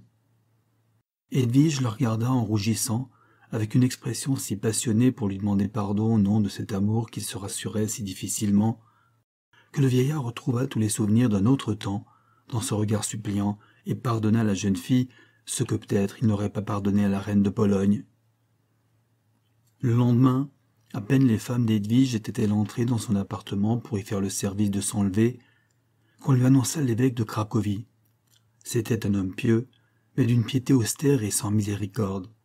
Lorsque Edwige entendit prononcer son nom, elle prévit un malheur, mais la détermination qu'elle avait prise avec elle-même pendant cette terrible nuit qui venait de s'écouler pour elle au milieu des larmes et des insultes, la rendait bien forte contre toutes les attaques.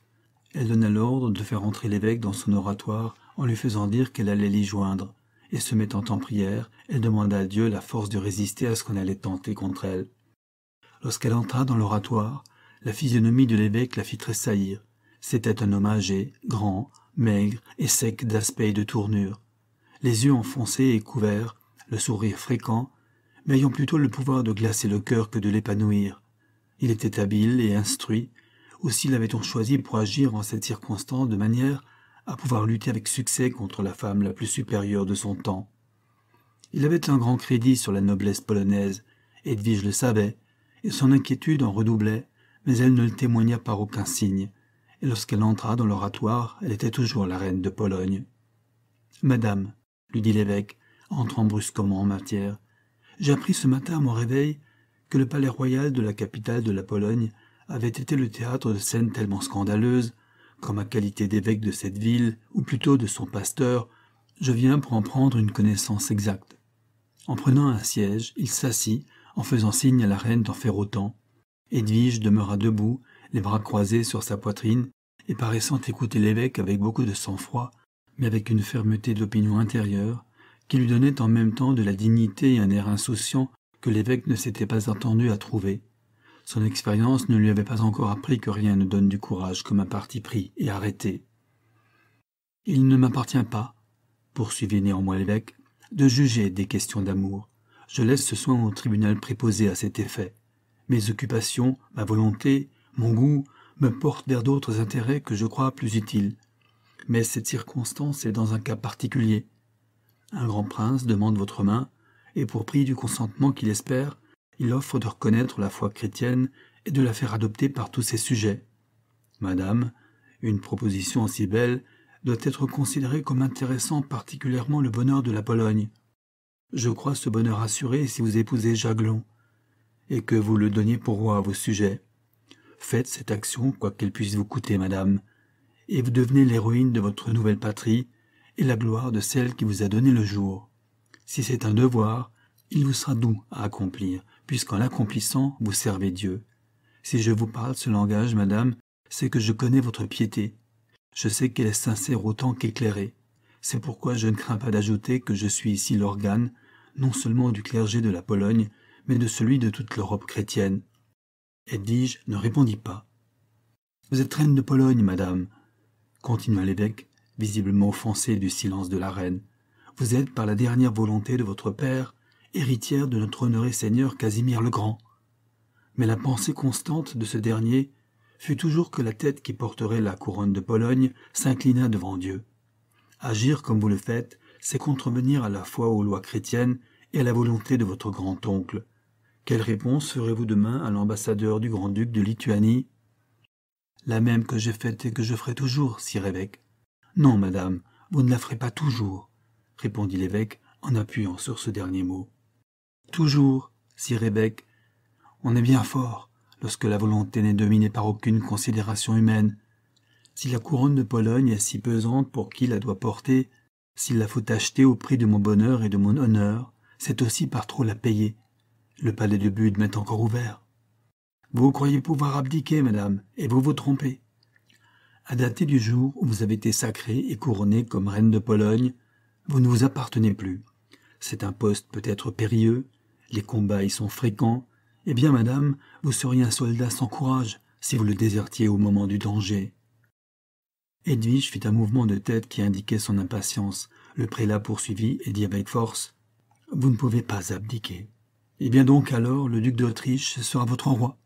Je suis sa fiancée, il est mon mari devant Dieu, et c'est outrager cette même religion que vous invoquez, si évêque, que de vouloir me faire rompre un engagement aussi sacré. Les événements qui sont survenus depuis vos fiançailles, madame, les rendent nuls aujourd'hui. L'Église a pour de semblables cas le pouvoir de délier ce qu'elle a lié. Et moi je m'y refuse, dit Edwige avec hauteur, et se dirigeant vers la porte de son appartement intérieur, elle indiqua ainsi qu'elle congédiait le prélat. Mais lui, se levant à son tour, se mit devant la reine et lui barrant le passage. Notre conférence n'est pas encore terminée, madame. Veuillez vous rasseoir et m'écouter. Son accent était à la fois impérieux et moqueur. Edwige, après avoir hésité d'abord, revint à sa place et indiqua de la main qu'elle était prête à entendre le prélat. Vous croyez être maîtresse de vous, madame, mais avez-vous consulté le chef de notre Église sur un point aussi grave? Savez-vous quelle est sa pensée Edwige pâlit. Le ton d'assurance de l'évêque lui disait tout. C'est un avis important à prendre cependant, madame, que celui du Saint-Père. J'écrirai dès demain sa sainteté, sire évêque, dit la reine en se levant, comme pour indiquer qu'elle donnait congé. Ce sera donc pour lui répondre, madame, dit le prélat en posant une main sur le bras de la reine, et de l'autre lui présentant un parchemin plié en quatre et lié d'un fil de soie pourpre ses l'édusseau pontifical. En le voyant, Edwige pâlit de nouveau. C'était son arrêt. Là était sa dernière espérance. Cette lettre était un chef-d'œuvre d'habileté apostolique. Ma chère fille, y disait le pape, comment pouvez-vous oublier que je vous ai donné le nom glorieux et doux de fille bien-aimée de l'Église chrétienne? Et quoi? Lorsque je priais pour vous, en demandant à Dieu de prolonger sa bénédiction sur vos jours, il faut me prosterner pour supplier le Seigneur de vous ramener à lui, vous, ma fille, vous, si chrétienne parmi les vierges saintes, vous, l'orgueil de notre Église, vous en deviendriez la honte. Car que seriez-vous autre chose, ma fille, si vous refusiez d'ouvrir la porte céleste à des millions d'âmes qui vous demandent de leur donner la vue du Seigneur? Ma fille, mon enfant, faites que mes prières soient exaucées. J'ai demandé au Seigneur notre Dieu de faire de vous un vase d'élection, une des colonnes de son temple. Il m'avait entendu. La plus grande gloire pour une vierge chrétienne après celle du martyr vous était dévolue. Et vous la rejetez, ma fille. Oh, mon enfant, n'auriez-vous donc pas suivi l'exemple de ces filles courageuses qui bravèrent les tortures pour confesser le saint nom de Jésus-Christ Le glaive, le feu, le poison, la torture, toutes les cruautés inventées par les hommes pour tourmenter leurs semblables leur étaient infligées. Et les saintes martyrs les supportaient pour l'amour de Dieu. Edwige, ma fille, ne repoussez pas le bien qui s'offre à vous. Vous souffrirez sans doute. Votre cœur saignera longtemps peut-être de cette blessure. Mais quel baume céleste descendra du ciel sur cette plaie faite par votre devoir de chrétienne pour la gloire du Seigneur. Au nom de ce Dieu dont je suis le vicaire indigne, rentrez en vous-même. Écoutez la voix qui vous crie que vous êtes appelée à être une sainte. Est-ce donc quelques moments d'une joie périssable qui peuvent balancer une si belle gloire? Et le sort de tout un royaume? Non, ma fille, vous n'agirez pas ainsi. Vous détournerez vos regards. Vous isolerez votre cœur de cet amour que vous devez considérer comme un piège de l'esprit maudit, et vous mériterez par cette conduite une couronne plus brillante et plus durable que celle des rois. La lecture de cette lettre, si habilement faite, fit sur Edwige l'effet que le pape en avait attendu. La violence et la contrainte l'avaient irritée, et si l'évêque de Cracovie était sorti de chez elle sans lui remettre la lettre du Saint-Père, elle leur déclarait son abdication dans la journée. Mais la prière d'un vieillard, du chef de l'Église, de l'homme qu'à cette époque on regardait comme Dieu même, fit sur la jeune fille une impression profonde. Elle fut, non pas vaincue, mais fortement ébranlée. Non que l'amour qu'elle avait pour le duc d'Autriche fût altéré par cette impression nouvelle, car cet amour devait durer autant que sa vie. Mais elle voyait d'un autre œil maintenant ce qu'on lui demandait. C'était au nom de Dieu. Et pour une femme comme Edwige, c'était demander une certitude d'obtenir. En cédant à la prière du pape, Edwige ne cédait à aucune de ces considérations humaines qui révoltaient sa fierté délicate. La grandeur du duc de Lituanie elle-même n'était plus qu'un motif de plus pour la déterminer, car le nombre des âmes qu'elle doit délivrer du pouvoir de Satan est ce qui la détermine à son sacrifice. Après la lecture de cette lettre importante, Edwige tomba dans une rêverie profonde que l'évêque n'osa d'abord troubler mais son humeur altière ne lui permettait pas d'observer longtemps une loi qui gêna sa volonté. Et rompant enfin le silence, il demanda à la reine quelle réponse elle avait à faire à la lettre du Saint-Père. À la voix de cet homme, Edwige tressaillit. Elle fut aussitôt ramenée au sentiment de sa position, et tout ce qui s'était assoupi en elle à la lecture de la lettre se réveilla plus vivement, et elle reprit toute sa fierté et même sa colère. Je répondrai à sa sainteté, sire évêque, lui dit-elle avec hauteur, je n'ai aucune réponse à vous faire connaître particulièrement. Le conseil saura ma détermination. Et le congédiant d'un signe de tête, elle se dirigea vers la porte de son appartement intérieur. Mais l'évêque, au lieu de se retirer, avança de quelques pas vers Edwige et s'arrêtant en face d'elle, lui dit presque impérativement Il faut que vous m'entendiez encore, madame, que malgré votre prévention contre moi, vous receviez un avis par ma bouche. Il faut que ma prudence empêche un malheur que votre passion insensée peut amener. Le duc d'Autriche court un grand danger s'il demeure à Cracovie. Edwige s'arrêta, et son visage devint blanc comme un lys. Tout son sang reflua vers le cœur, et elle fut obligée de s'appuyer contre la muraille, tandis que l'évêque la regardait avec un œil méchant et railleur. Elle surprit un de ses regards. Ah lui dit-elle, n'avez-vous donc aucune pitié d'une pauvre femme au désespoir? Dites, oh dites-moi quel est le danger qui menace Guillaume, le plus grand danger mais enfin la mort.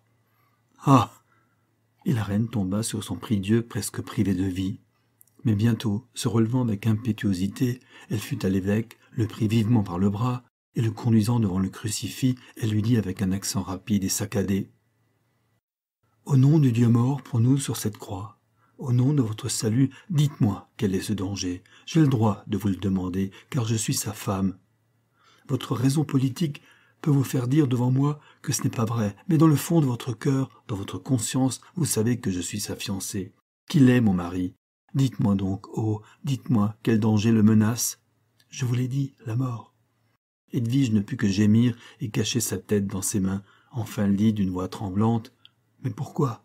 Quel est son crime L'évêque ne put retenir un sourire méprisant. Il est obstacle à de grands desseins. N'est-ce donc pas suffisant pour le faire condamner par des hommes qui veulent atteindre un but devant lequel il se trouve Et pour cela, ils veulent l'assassiner Je vous ai dit que le hasard m'a fait connaître par la révélation de la confession. Je ne trahis donc aucun secret, confia ma foi, puisque je ne nomme personne. Ma conscience ne pouvait me laisser voir le poignard suspendu sur le sein d'un innocent sans chercher à le détourner. J'ai donc pris la résolution de tout vous dire.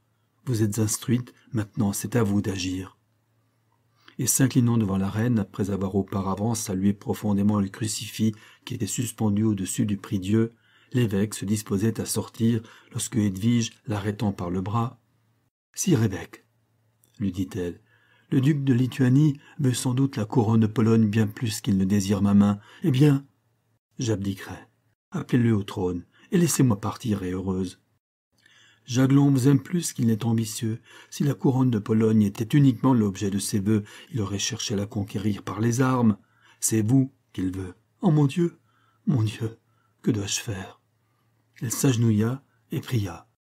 On entendait en même temps le bruit de ses sanglots et les paroles saintes de la prière. Quand elle eut prié, elle se leva et dit à l'évêque Par les mérites de sainte Edwige, ma patronne, dont voici les reliques, ajouta-t-elle, en sortant de son sein un précieux reliquaire qui ne la quittait jamais. Me jurez-vous que le danger que court le duc d'Autriche est certain et immédiat Je le jure. Sur ces reliques, sur ces reliques. Et l'évêque étendit la main droite sur le reliquaire. Il suffit. Maintenant, laissez-moi seul.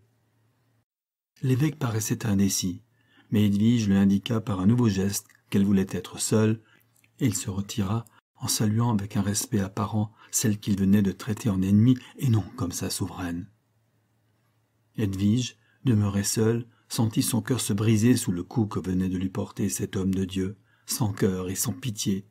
Elle ne pouvait pleurer. Les larmes l'étouffaient. Ses idées n'étaient pas en ordre. Elle voulait s'arrêter à un parti et rien ne lui semblait pouvoir détourner la mort sous la tête de Guillaume. Mon Dieu, mon Dieu, inspirez-moi, disait la malheureuse enfant en priant avec ferveur. Dans ce moment, on frappa doucement à la porte de l'appartement intérieur. C'était Thérèse qui demandait pour Dimitri la permission d'être introduit. Ah s'écria Edwige, c'est le ciel qui l'envoie. Le vieillard entra aussitôt dans l'oratoire.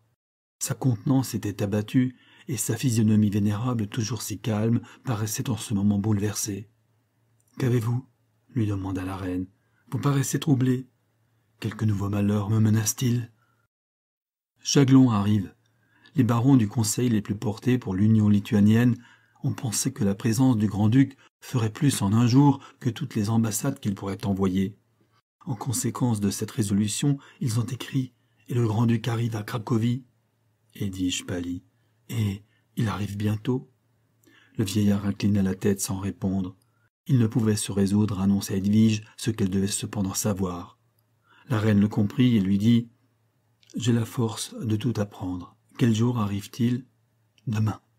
Edwige tressaillit et dit avec un sourire amer Le terme est court. On en laissa plus long au criminel condamné à mort pour exécuter la sentence. Dimitri s'approcha d'Edwige et prenant ses mains dans les siennes, il les pressa sur son cœur avec la tendresse d'un père. Ma souveraine, lui dit-il avec une émotion qui venait d'une noble affection. Ma souveraine, soyez vous-même dans cette circonstance, soyez grande et courageuse, il le faut. Hélas, vous ne savez pas tout. Et le regarda. Le vieillard abaissa son œil sous celui plein de feu de la jeune fille. Vous me cachez quelque chose, Dimitri lui dit-elle. Parlez. Vous savez quelque secret important relatif au duc d'Autriche Il est vrai, répondit Dimitri, surpris. Et ce secret, c'est Dites. Le vieillard continua à se taire. Vous ne voulez pas me le dire Eh bien, je le sais, moi, c'est que vos compatriotes veulent l'assassiner. Et la pauvre enfant retomba mourante sur son prie-dieu. Grand Dieu s'écria le grand trésorier en joignant les mains. Qui a pu vous faire connaître ce terrible secret? L'homme qui sort d'ici L'évêque de Cracovie? Oui. Dimitri joignit ses mains dans un grand étonnement. La reine se leva et fit plusieurs fois le tour de l'oratoire, comme plongée dans de grandes pensées. Dimitri n'osait interrompre cette méditation qui semblait l'absorber. Je voudrais être seul, dit enfin Edwige à son vieil ami. Dites-moi seulement, avant de me quitter, à quelle heure Jaglon doit entrer dans la ville? Je crois que c'est demain, vers l'heure de midi. Il suffit. Maintenant, mon ami, promettez-moi de veiller sur Guillaume jusqu'au moment où vous recevrez un message de moi. Avant deux heures, vous serez délivré de votre parole. Me promettez-vous de veiller sur ces jours pour qu'il ne court aucun danger? Je vous jure de l'avoir en ma garde comme mon fils. La reine lui tendit sa main qu'il baisa avec une émotion profonde, car il y avait en elle en ce moment une expression étrange qui étonnait et touchait en même temps. Lorsqu'il fut sorti de l'oratoire, Edwige demeura longtemps plongée dans une rêverie profonde. Que devait-elle faire dans une circonstance aussi délicate? Jaglon arrivait à Cracovie, mandé par les barons du conseil et non par elle. Cette démarche des Polonais, sans l'avoir consulté, lui donnait la mesure de ce qu'il pouvait tenter pour accomplir la volonté qui donnait dix millions de sujets de plus à la Pologne. La raison d'État parlait ici plus haut que celle de l'honneur et même de la religion. Edwige le comprit et recula devant les malheurs qu'elle prévoyait pour elle et pour Guillaume. Comment les prévenir?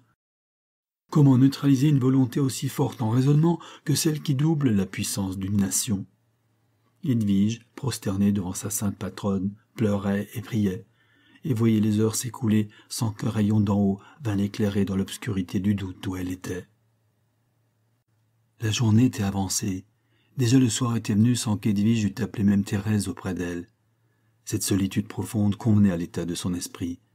Il lui semblait qu'ainsi séparé du monde, Dieu se communiquerait mieux à elle. À genoux devant l'image de sa patronne, elle lui demandait du secours en pleurant. Et dans le cours de cette journée que de fois la malheureuse enfant répéta, au milieu de ses prières et de ses larmes, Et je n'ai pas encore seize ans. Le soleil se couchait dans un ciel orageux, et ne donnait que des rayons pâles au travers des vitraux colorés de l'oratoire. Edwige ouvrit une fenêtre qui donnait sur la campagne pour respirer librement un air plus frais. Penchée sur le balcon crénelé, elle cherchait du soulagement et ne trouvait dans ses réflexions que de nouveaux sujets d'alarme. Tout à coup une cloche a retenti près d'elle. C'est l'office du soir qu'on va célébrer dans la cathédrale. Edwige se lève et, joignant les mains, Mon Dieu, dit-elle, regardez-moi en pitié et assistez-moi. Elle rentre dans son appartement, prend un voile et passe ensuite dans un appartement voisin. Elle se trouve dans la travée royale qui avait vue sur l'intérieur de la cathédrale et d'où les rois de Pologne pouvaient entendre l'office divin. L'église était sombre et solitaire. Quelques femmes agenouillées priaient isolément. Le maître-autel était seul éclairé par plusieurs cierges, dont la clarté tremblante formait le prolongement des grandes ombres des piliers, qui commençaient à devenir massives. Cet ensemble avait une physionomie triste mais touchante, et devait parler à une âme pieuse comme celle d'Edwige, prosternée en suppliante devant le roi des rois. Elle lui demandait de la guider dans cette route où elle se trouvait engagée, lui promettant de se soumettre à son ordre, quel qu'il fût. Tandis qu'elle priait, les prêtres achevaient l'office. Les cierges s'éteignirent et le peu d'assistants quitta l'église qui bientôt fut déserte. En se voyant ainsi seule avec Dieu dans sa demeure, Edwige redoubla de ferveur. Tout à coup elle tressaille. Elle relève sa tête. Une voix a prononcé son nom. Cette voix n'a rien d'humain. Elle appelle Edwige. Elle appelle une seconde fois. La jeune fille n'hésite pas, elle se lève, ouvre une porte donnant sur un escalier qui, de l'appartement royal, conduit à la cathédrale et se trouve bientôt au milieu de l'église, près d'une chapelle vers laquelle son sort semble l'avoir conduite. Il y avait à cette époque dans la cathédrale de Cracovie une chapelle consacrée à la dévotion spéciale du Sauveur. Un beau Christ était sur l'autel de cette chapelle où l'on venait prier et faire ses stations au temps de Pâques. Edwige avait aussi cette chapelle en grande vénération, en se trouvant ainsi près d'elle, dans ce moment, elle tressaillit. Cette voix, qui deux fois l'avait appelée, ne venait-elle pas de ce lieu saint? Edwige se recueillit, puis elle entra dans la chapelle et se mit en prière. Elle demanda à Dieu de lui révéler sa volonté. Devait-elle trahir la foi donnée devant lui-même par l'ordre d'un père? Devait-elle mépriser les menaces et demeurer fidèle à son fiancé? Elle supplia le Seigneur, dans cette heure d'angoisse, d'éclairer sa route et de lui tendre la main. Alors, dit-elle, oh mon Dieu, j'aurai le courage, si vous l'ordonnez, d'abandonner la vie et les joies, et quoique bien jeune encore, de dire adieu au bonheur, sans l'avoir connu. Edwige demeura ainsi prostrée pendant plusieurs heures.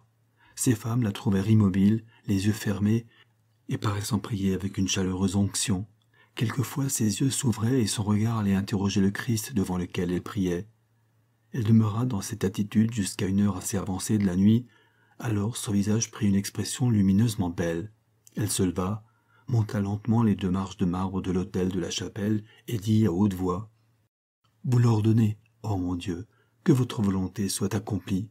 Je vous obéirai. J'épouserai le païen pour l'appeler à votre loi. Je renonce à Guillaume. Ici la voix de la jeune fille fut étouffée par les sanglots. Elle tomba sans force sur ses genoux devant cette croix à laquelle toutes les joies de sa vie venaient d'être attachées de sa main. Guillaume, Guillaume, répétait-elle avec déchirement. Adieu, adieu pour toujours en ce monde. Elle pria encore ainsi quelques moments en pleurant. Mais si son cœur était brisé, son âme était forte.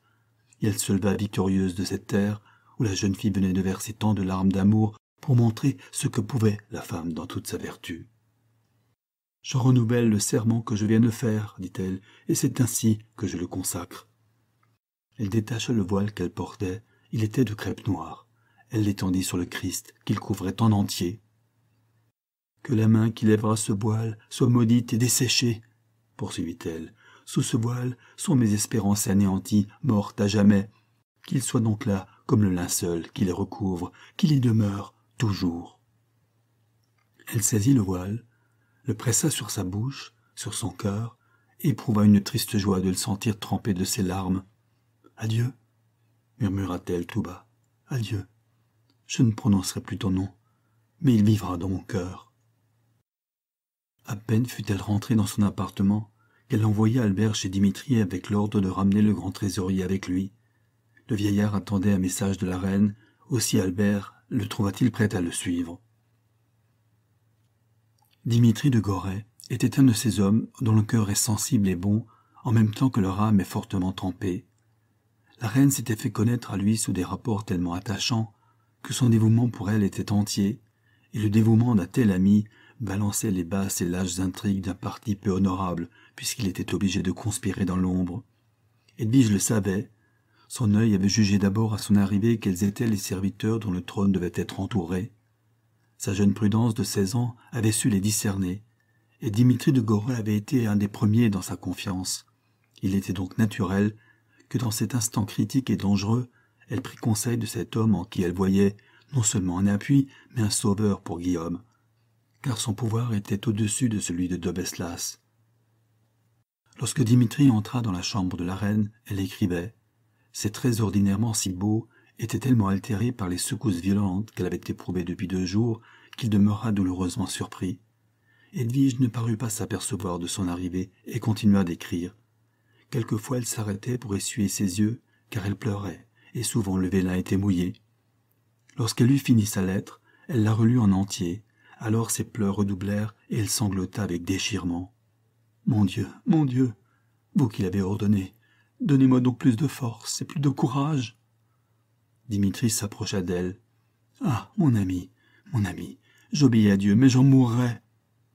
L'infortuné prophétisait. Le vieillard prit sa main et la pressa sur son cœur. Cette main était passive et ne rendit plus la pression de l'amitié. Son œil était fixé, son regard errait sans voir autour d'elle. Dimitri fut effrayé de cet état. Ma souveraine, ma noble maîtresse, revenez à vous, c'est moi, Dimitri, votre vieux serviteur celui que vous aimiez appeler près de vous dans vos chagrins, que vous nommiez votre père. Mon père, mon père, celui qui m'a donné cette couronne, cette couronne, oh combien elle me coûte. Quel prix j'ai donné pour ce cercle d'or. Guillaume, mon bien-aimé, mon fiancé, et dire que jamais, jamais plus je ne le reverrai. Oh mon Dieu, pitié, pitié. Et elle pleurait avec cette abondance de larmes que la jeunesse a pour ses premières douleurs. Celle qu'elle éprouvait, la malheureuse enfant, était de cette nature qui d'abord ne reçoit aucune consolation.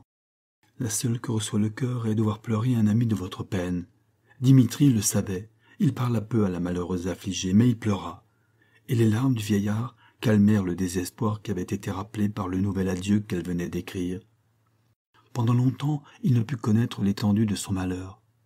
Ce ne fut qu'en lisant la lettre qu'il se chargea de remettre à Guillaume qu'il jugea de ce qu'elle devait souffrir.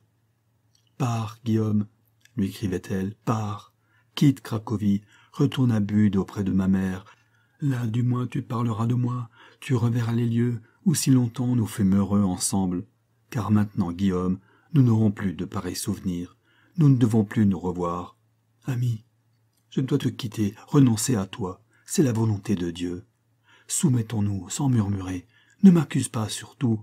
Au nom de notre amour, qui compte autant d'années que notre vie, ne me soupçonne pas. Je t'éloigne de moi parce que je t'aime, Guillaume, oui, parce que je t'aime. Quelques jours peut-être, tu sauras ce que j'ai souffert pour prononcer notre séparation.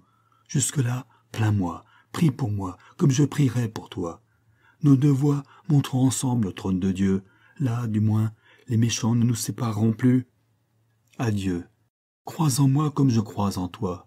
Même sans nous voir, nous nous retrouverons toujours par la pensée. Notre amour a été offert en holocauste sur l'autel du Seigneur notre Dieu. Mais il est un sanctuaire où son souvenir sera religieusement conservé. Qu'il en soit de même pour toi, Guillaume, et le peu de jours que je passerai sur la terre peut encore être heureux. Ainsi donc, vous êtes résolu, dit le grand trésorier avec admiration, car une telle force avec un tel amour lui parut sublime. Oui, Dieu a parlé, et j'ai dû courber ma tête. Je souffrirai sans doute, mais les premières chrétiennes n'ont-elles pas souffert aussi pour confesser le nom de Jésus-Christ? Eh bien, je serai martyr par le cœur. Elle ne pleurait plus, en parlant ainsi. Le désespoir avait fourni ses larmes, et l'abattement de la douleur lui avait succédé. Elle voyait maintenant devant elle cette suite de jours déshérités de joie de l'âme, de bonheur du cœur, et quelquefois elle reculait en frissonnant devant ce tableau se déroulant devant elle à l'infini. Mais elle se repentait ensuite de ses murmures. C'est l'ordre de Dieu, disait l'infortunée. Elle chargea Dimitri de porter cette lettre à Guillaume et de veiller à ce qu'il quittât Cracovie dans le jour même. Au nom de tout ce que je puis invoquer, au nom de moi-même, Guillaume, ajouta-t-elle dans sa lettre, je te conjure de partir dans une heure. Elle ajouta dans ses instructions verbales tout ce qu'elle avait omis dans sa lettre. Là, elle n'avait parlé que de leur amour. Elle confia la lettre du pape à Dimitri, pour que Guillaume en prît connaissance. Il était pieux, et cette lecture devait, sinon le consoler, du moins donner une sorte de légitimité à sa douleur. Qu'il ne m'accuse pas, surtout, qu'il ne me soupçonne ni de faiblesse ni de légèreté. Il m'a fallu au contraire bien de la force pour accomplir mon sacrifice. Le jour commençait à paraître. On entendait déjà du mouvement dans le palais. Dimitri observa à la reine qu'il était temps qu'il allât trouver le prince, afin qu'il pût partir avant le moment qui serait trop affreux pour lui, pour que ses amis ne lui en épargnassent pas la douleur. La reine le comprit. Quelle heure ont-ils fixé? Midi. Allez donc, mon ami, Allez, et que les saints vous protègent. Demeuré seul, Edwige se sentit mourir. Était-il donc vrai que cet homme, dont les pas s'entendaient encore, emportait dans ses mains le renoncement à tout le bonheur de sa vie Et elle l'entendait toujours. Il pouvait revenir. Deux fois elle se leva pour le rappeler, et deux fois une force invisible la replaça sur sa chaise. C'est la main de Dieu, dit-elle en s'inclinant et se signant. Pardon, Pardon, mon Dieu. Et Dimitri poursuivit sa route. Le matin de ce même jour, les barons du conseil demandèrent à être introduits chez la reine. Elle les reçut avec une contenance froidement convenable et avec une dignité qui leur en imposa. Il n'y avait plus rien en elle de la jeune fille passionnée, s'oubliant dans l'excès de son délire jusqu'à jeter sa couronne loin d'elle.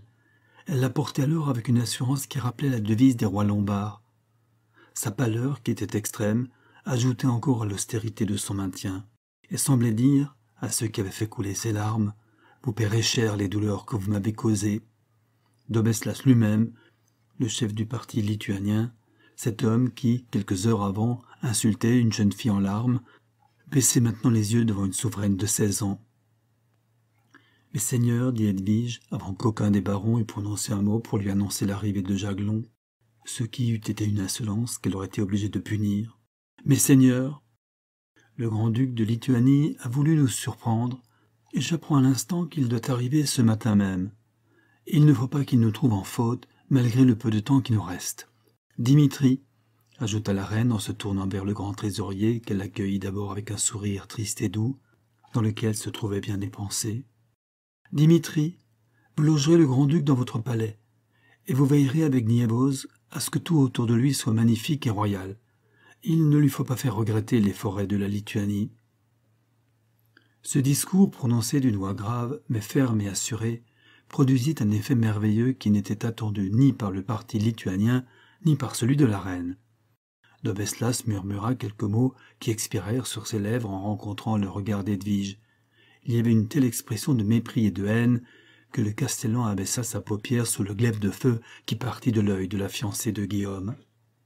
Assassin murmura-t-elle à son tour, et se tournant vers les autres castellans et les seigneurs du parti lituanien, elle leur parla avec fermeté et avec cette dignité toujours convenable dans un souverain, mais admirable dans une femme, surtout quand elle est belle, qu'elle n'a que seize ans et qu'elle porte une couronne. Que tout soit donc convenablement ordonné, dit Edwige en se retirant dans son appartement intérieur, et elle laissa la députation confondue de trouver une souveraine là où, d'après ce qu'ils avaient vu deux jours auparavant, il devait s'attendre à voir une jeune fille insensée. À présent, dit-elle en rentrant dans son oratoire et se laissant tomber au pied de la croix, à présent le sacrifice est consommé. Mon Dieu, force et courage, et je vous servirai. Elle s'agenouilla et pria. Quelques heures après, les murs de Cracovie retentissaient du bruit des instruments guerriers de la troupe de Jaglon, et lui-même faisait son entrée sur un magnifique cheval tartare d'un noir de jet, dont le harnachement étincelait de pierreries. Le grand-duc de Lituanie était vêtu simplement, mais sans affectation. Il était bien. Sa figure était non seulement un peu longue, mais ses traits étaient agréables, quoique sérieux. Jaglon marcha lentement depuis la porte de la ville jusqu'au palais de la reine, où le grand-duc voulait aller directement pour lui rendre hommage sans prendre aucun repos. Le peuple était dans l'ivresse, et la manifestait par des cris de joie qui parvenaient aux oreilles d'Edwige et jetaient dans son cœur une nouvelle douleur. Il lui semblait entendre le chant des funérailles de Guillaume. Ah, se disait-elle, c'est ainsi qu'ils auraient accueilli Guillaume s'il eût été leur roi. Et son cœur battait violemment à la pensée de l'entrevue dont le moment approchait.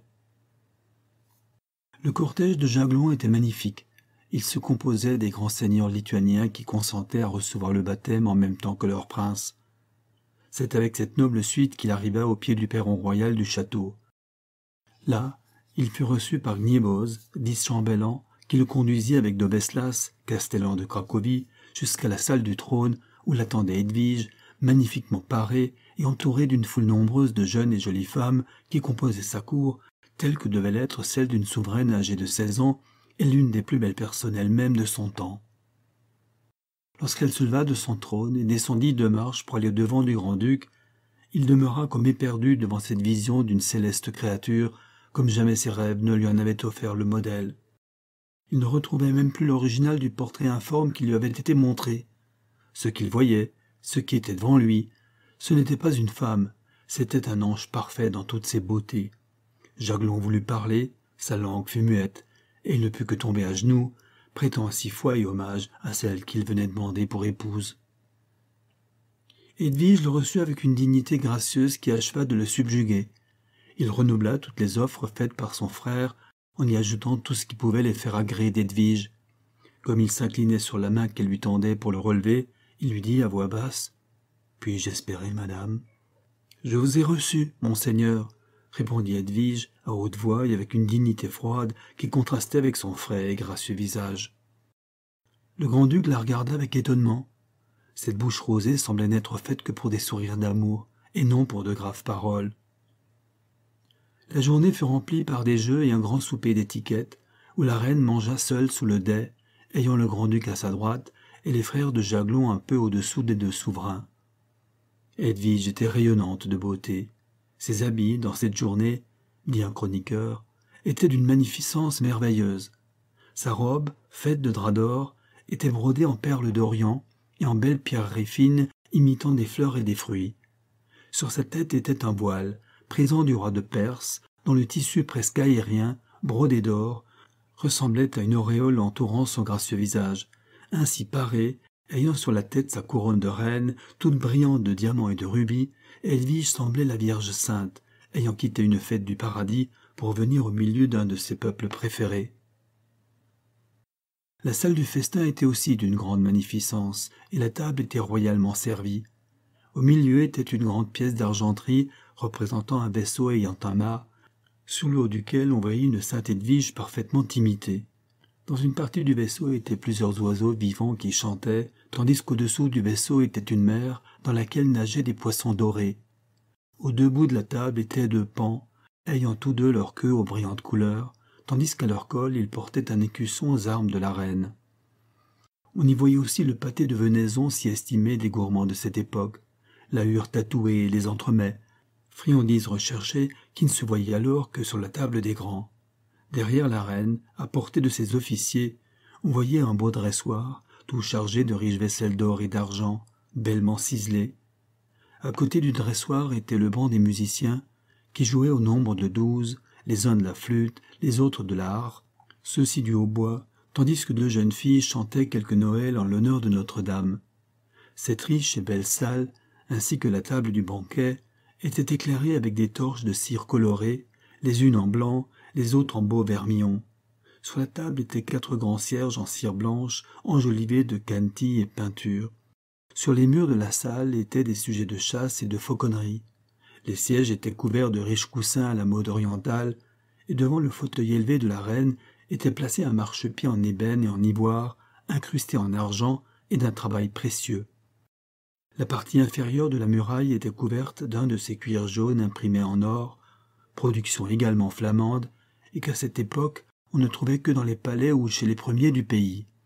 Telle était, ainsi que je viens de la décrire, la salle du banquet dans le palais de Cracovie, le 12 février 1382, jour de l'arrivée du premier des Jaglons dans la capitale de la Pologne. Le banquet fut long. Le couvre-feu était déjà sonné lorsqu'Edwige donna, en se levant, le signal de la retraite. Jaglon la quitta éperdu d'amour et résolu à tous les sacrifices pour obtenir non pas la couronne de Pologne, mais celle qui la portait. En rentrant dans son appartement intérieur, Edwige fut heureuse de se retrouver seule et surtout de déposer cette couronne dont le poids faisait non seulement pencher sa tête, mais qu'elle achetait si cher le droit de porter. En la soulevant de sa faible main, elle se demandait si elle valait le sacrifice de toute sa vie de bonheur. Mais ce n'était pas à elle que je me suis sacrifié, mon Dieu, vous le savez. Edwige venait de quitter sa lourde et magnifique robe pour en revêtir une toute blanche, et déjà plus libre, elle livrait sa tête à ses femmes afin qu'elle n'attât ses cheveux pour la nuit, lorsque Thérèse vint lui annoncer un marchand de Bude qui, passant par Cracovie, s'était chargé d'une lettre de la reine de Hongrie pour la reine et demandait à la remettre lui-même et sans témoin, ayant à s'acquitter d'un message important. Je ne puis le voir à cette heure, dit Edwige, qu'il vienne demain. Thérèse revint avec la réponse que le marchand quittait Bude au point du jour et ne pouvait remettre son départ. Edwige hésita un moment. Qu'il entre, dit-elle enfin. Mais demeure, ajouta-t-elle en s'adressant à Thérèse, et fais sortir tout le monde. Thérèse renvoya tout le service de la chambre et introduisit le marchand de Bude. Il portait une de ces capes brunes qui faisaient l'habillement de la classe bourgeoise à cette époque. Son bonnet garni d'une fourrure très épaisse lui cachait presque entièrement le visage. Mais comme tous les voyageurs en portaient un semblable, Edwige n'y fit aucune attention, à peine même si elle le regarda. Il y a longtemps que vous avez quitté Bude lui demanda-t-elle. Mais avant qu'elle n'eût fini sa phrase, l'homme avait jeté sa cape et son bonnet, et il était à ses pieds qu'il embrassait en les mouillant de larmes. Guillaume s'écria Edwige, et oubliant ses vœux et ses promesses, elle s'abandonna d'abord à la joie d'un premier moment de retour. Elle serrait son amant dans ses bras, le couvrait à son tour de baisers et de larmes, et ne pouvait que sourire à cet ami tant aimé, à cet être qui était sa vie. Mais ce fut cet amour même qui la rappela au sentiment de la position de tous deux. Ah, malheureux, qu'as-tu fait? s'écria-t-elle enfin. Mon devoir, répondit Guillaume. N'était-ce donc pas celui de mon cœur de te voir encore une fois De te demander une dernière fois à toi-même si c'est sans retour que tu as brisé nos liens? Edwige, mon amie, ma fiancée, ce n'est pas de ton cœur qu'est sortie cette volonté qui nous sépare. Regarde-moi. Dis-moi si tu peux soutenir mon regard lorsque je te demande compte de notre bonheur à tous deux. Ah, tu pleures. Je le savais bien, moi, que tu souffrirais aussi. Eh bien, pourquoi souffrir? Laisse la couronne à cet homme, viens avec moi. Je ne te ferai pas reine, mais nous serons heureux. Et le jeune homme brûlait de ses larmes et de ses baisers les mains de la malheureuse enfant, dont le cœur se brisait lentement au son de cette voix aimée, et dont le timbre avait suffi pour agiter son sang et le faire courir plus vite dans ses veines. En voyant l'agitation de son sein, en recueillant les regards d'amour qui s'échappent en traits de flammes de ses yeux pour se fondre en lui, le jeune homme voit qu'il est toujours aimé et il n'est plus malheureux. Il pleure, mais de bonheur. Il ne peut croire qu'Edwige soit ainsi cruelle à elle-même. Viens, lui dit-il, quitte la Pologne, viens avec moi, tu suivras ton époux. Quelle voix s'élèverait pour nous arrêter Ah, tu me fais trembler en parlant ainsi, dit Edwige, pâlissant à la seule pensée qu'on peut savoir seulement que Guillaume est à Cracovie. Ne parle pas si haut, grand Dieu, les murailles ici peuvent nous trahir, et alors? Sa terreur lui montre en un moment les dangers qui entouraient le duc d'Autriche si les barons du parti lituanien apprenaient qu'il n'est pas sorti de Cracovie. Les paroles de l'évêque, celles de Dimitri, reviennent à sa mémoire et lui causent une terreur inquiète qui trouble sa raison. Elle conjure Guillaume de la quitter et de partir, de quitter Cracovie surtout, elle le supplie avec larmes de ne pas prolonger une entrevue pénible pour tous deux. Ainsi donc, ma vue te fait mal lui dit Guillaume avec amertume les yeux pleins de larmes, car en ce moment l'homme fort et ferme dans sa volonté n'était plus qu'un enfant vulnérable au coup de toutes les douleurs. Nous en sommes arrivés à ce point que la vue de l'un est pénible à l'autre, Edwige. Pour qu'une parole aussi cruelle soit sortie de ta bouche, il faut qu'elle soit venue de ton cœur, si cela est. Tu ne m'aimes plus, Edwige. Adieu. Ah s'écria-t-elle en se jetant au devant de Guillaume. Je ne veux pas que tu me quittes avec une telle pensée. Moi, ne plus t'aimer, ne plus t'aimer, Guillaume Et la séduisante créature le pressait dans ses bras, en attachant sur les siens ses yeux remplis d'amour et voilés de larmes, mais plus éloquents que toutes les paroles qu'elle pouvait lui répéter. Si je ne t'aimais pas, Guillaume, reprit-elle, je n'aurais pas renoncé à toi. Il y a un mystère terrible dans notre destinée, mais il n'est pas dans notre amour. Je t'aime comme je t'aimais. Ne m'accuse pas. Je te l'ai dit dans la lettre que je t'ai écrite hier. Je renonce à toi parce que je t'aime. Je ne veux pas attirer la colère de Dieu sur ta tête.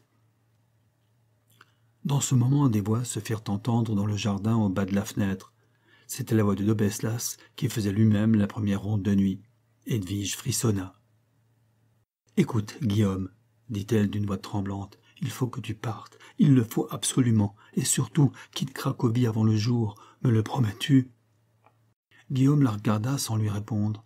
Il était pâle et tremblant d'une émotion subite qui venait de le frapper.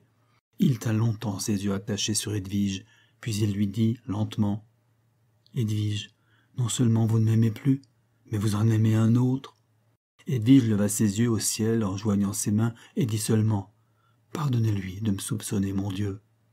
Ah s'écria Guillaume, si je me prive de ma dernière, de ma seule consolation, c'est que je souffre au point de douter de toi.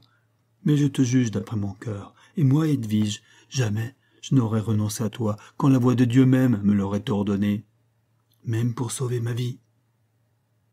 Guillaume la regarda avec étonnement. Il ignorait entièrement les complots formés contre lui.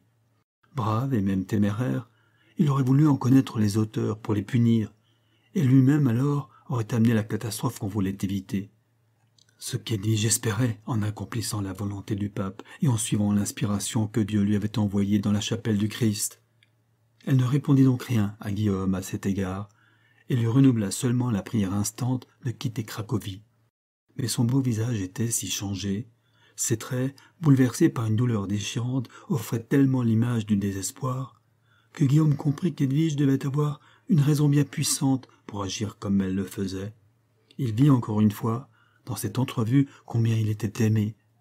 Cette conviction arrivait à son cœur par toutes ses puissances de sentir et d'aimer. Mais en même temps, il sentait aussi ce cœur se briser, sous cette pensée qu'il voyait Edwige pour la dernière fois.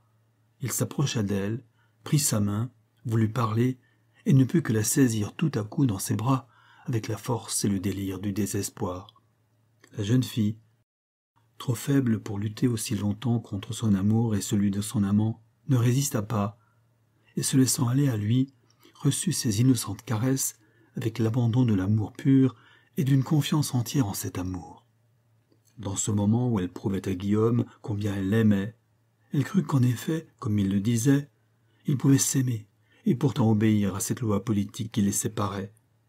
La tête appuyée sur la poitrine de son ami, Edwige pleurait, tandis qu'il baisait ses cheveux, son front et ses joues pâles, il sentait qu'il y avait un bonheur qui pouvait en effet exister pour eux, en dépit du sort qui élevait une barrière entre leurs deux destinées. Il y avait un mystère profond de la puissance de l'âme dans ces jouissances infinies, données et reçues par deux êtres jeunes, beaux et aimants d'un amour passionné, et qui cependant pouvaient défier les anges dans la pureté de leur bonheur. Dans de tels instants, Dieu laisse tomber sur ces créatures privilégiées un regard de bonté qui les rapproche de lui. Malheur à celui dont les lèvres souriront de pitié à cette croyance, peut-être imaginaire. Par quelle certitude la remplacerait-il? Deuxième partie. Les moments s'écoulaient cependant, et Guillaume ne pouvait s'arracher des bras d'Edwige. Elle était aussi sans force pour prononcer le mot d'adieu. Ce fut Thérèse qui, la première, osa rappeler à sa maîtresse le danger de leur position. Elle leva la lourde draperie de velours qui cachait la fenêtre, la reine put voir au travers des petits vitraux une large bande pourprée qui bordait l'horizon de la plaine de Cracovie et annonçait le jour. Edwige tressaillit. Il faut partir, mon ami, partir, quitter. Oh, Guillaume, Guillaume, plains-moi et aime-moi toujours. Et se jetant d'elle-même dans ses bras avec abandon, elle le pressa fortement contre son cœur déchiré. Ce qu'elle souffrait était affreux. Si cette heure d'agonie s'était prolongée, elle excédait ses forces. Il souffrait bien aussi, lui. Sa poitrine gonflée de sanglots ne pouvait contenir les battements précipités de son cœur. Adieu, dit-il enfin, tu le veux, je pars. Si je demeurais encore, il me faudrait mourir ou rester. Adieu, toi que je regarde toujours comme mon bien et comme ma fiancée, comme ma femme, enfin. Edwige, Edwige. Elle souleva sa tête et murmura un adieu. Edwige, encore une fois, ne me repousse pas, il en est temps encore. Parle. Elle remua doucement la tête en disant d'une voix étouffée par les larmes Je ne le puis. Il l'embrassa alors dans une dernière étreinte, et s'arrachant de ses bras, il s'élança hors de la chambre en poussant un gémissement qui fit retentir dans l'âme déchirée d'Edwige comme un cri de mort. Lorsqu'il fut parti, elle crut qu'une vision terrible lui avait été envoyée. Elle se souleva avec peine et regarda autour d'elle. Elle était seule. Thérèse avait accompagné le prince jusqu'au lieu où l'attendait Gniévoz. Le premier rayon du jour éclairait d'une lueur pâle la chambre où se trouvait Edwige. C'était celle qui précédait la sienne et où l'avait entraîné Guillaume en lui disant adieu. Elle pressa son front brûlant de sa main pour rappeler ses idées. Elle frissonnait, la malheureuse enfant, à la seule pensée de savoir Guillaume sous le poignard de ces hommes dont les projets ambitieux trouvaient un obstacle puissant dans la vie du fiancé de leur souveraine. Il la voulait libre. Le moyen en était facile au crime. Edwige reculait devant l'image que lui offrait la réunion de ses craintes avec les terribles paroles de l'évêque. À cette époque, un pouvoir invisible régnait autour des demeures royales comme il dominait le toit des chaumières. Les souverains eux-mêmes ne pouvaient que fléchir le genou devant cette justice terrible et mystérieuse dont le nom seul causait l'épouvante de toute une cité, mais non le décliner. Les francs juges enfin jugeaient toutes les causes, et celles qui échappaient à la loi, soit par le rang des coupables ou la nature de la cause elle-même, étaient évoquées devant le tribunal secret. L'évêque avait une seule fois prononcé ce mot magique, et il avait été retentir au cœur d'Edwige comme l'eût fait une cloche mortuaire. Il lui semblait toujours que les trois coups étaient frappés, et qu'on la citait avec Guillaume pour leur demander compte à tous deux de cet amour qui privait l'Église de tout un peuple à ramener à sa croyance. Cette crainte produisait des vertiges dans l'esprit terrifié de la jeune fille, dont l'amour était la vie. Elle savait que Dobeslas était affilié au grand tribunal de Westphalie et qu'il présidait celui qui était établi dans une partie de la Pologne. Comment lutter contre un tel pouvoir? Comment réclamer contre une justice qui frappait au soleil pour exécuter une sentence rendue dans l'ombre? Comment signaler une main qui ne frappait qu'au nom de Dieu? Edwige était insensé de douleur devant de telles pensées. Est-ce bien Guillaume, qui, bravant son ordre et ses prières, était demeuré dans la même ville que le rival que lui préféraient les chefs de la noblesse polonaise? Mais il était perdu. Edwige errait dans cette chambre, appelant pour la rassurer les seuls amis qui pouvaient lui répondre, mais elle était seule, seule, à cette heure.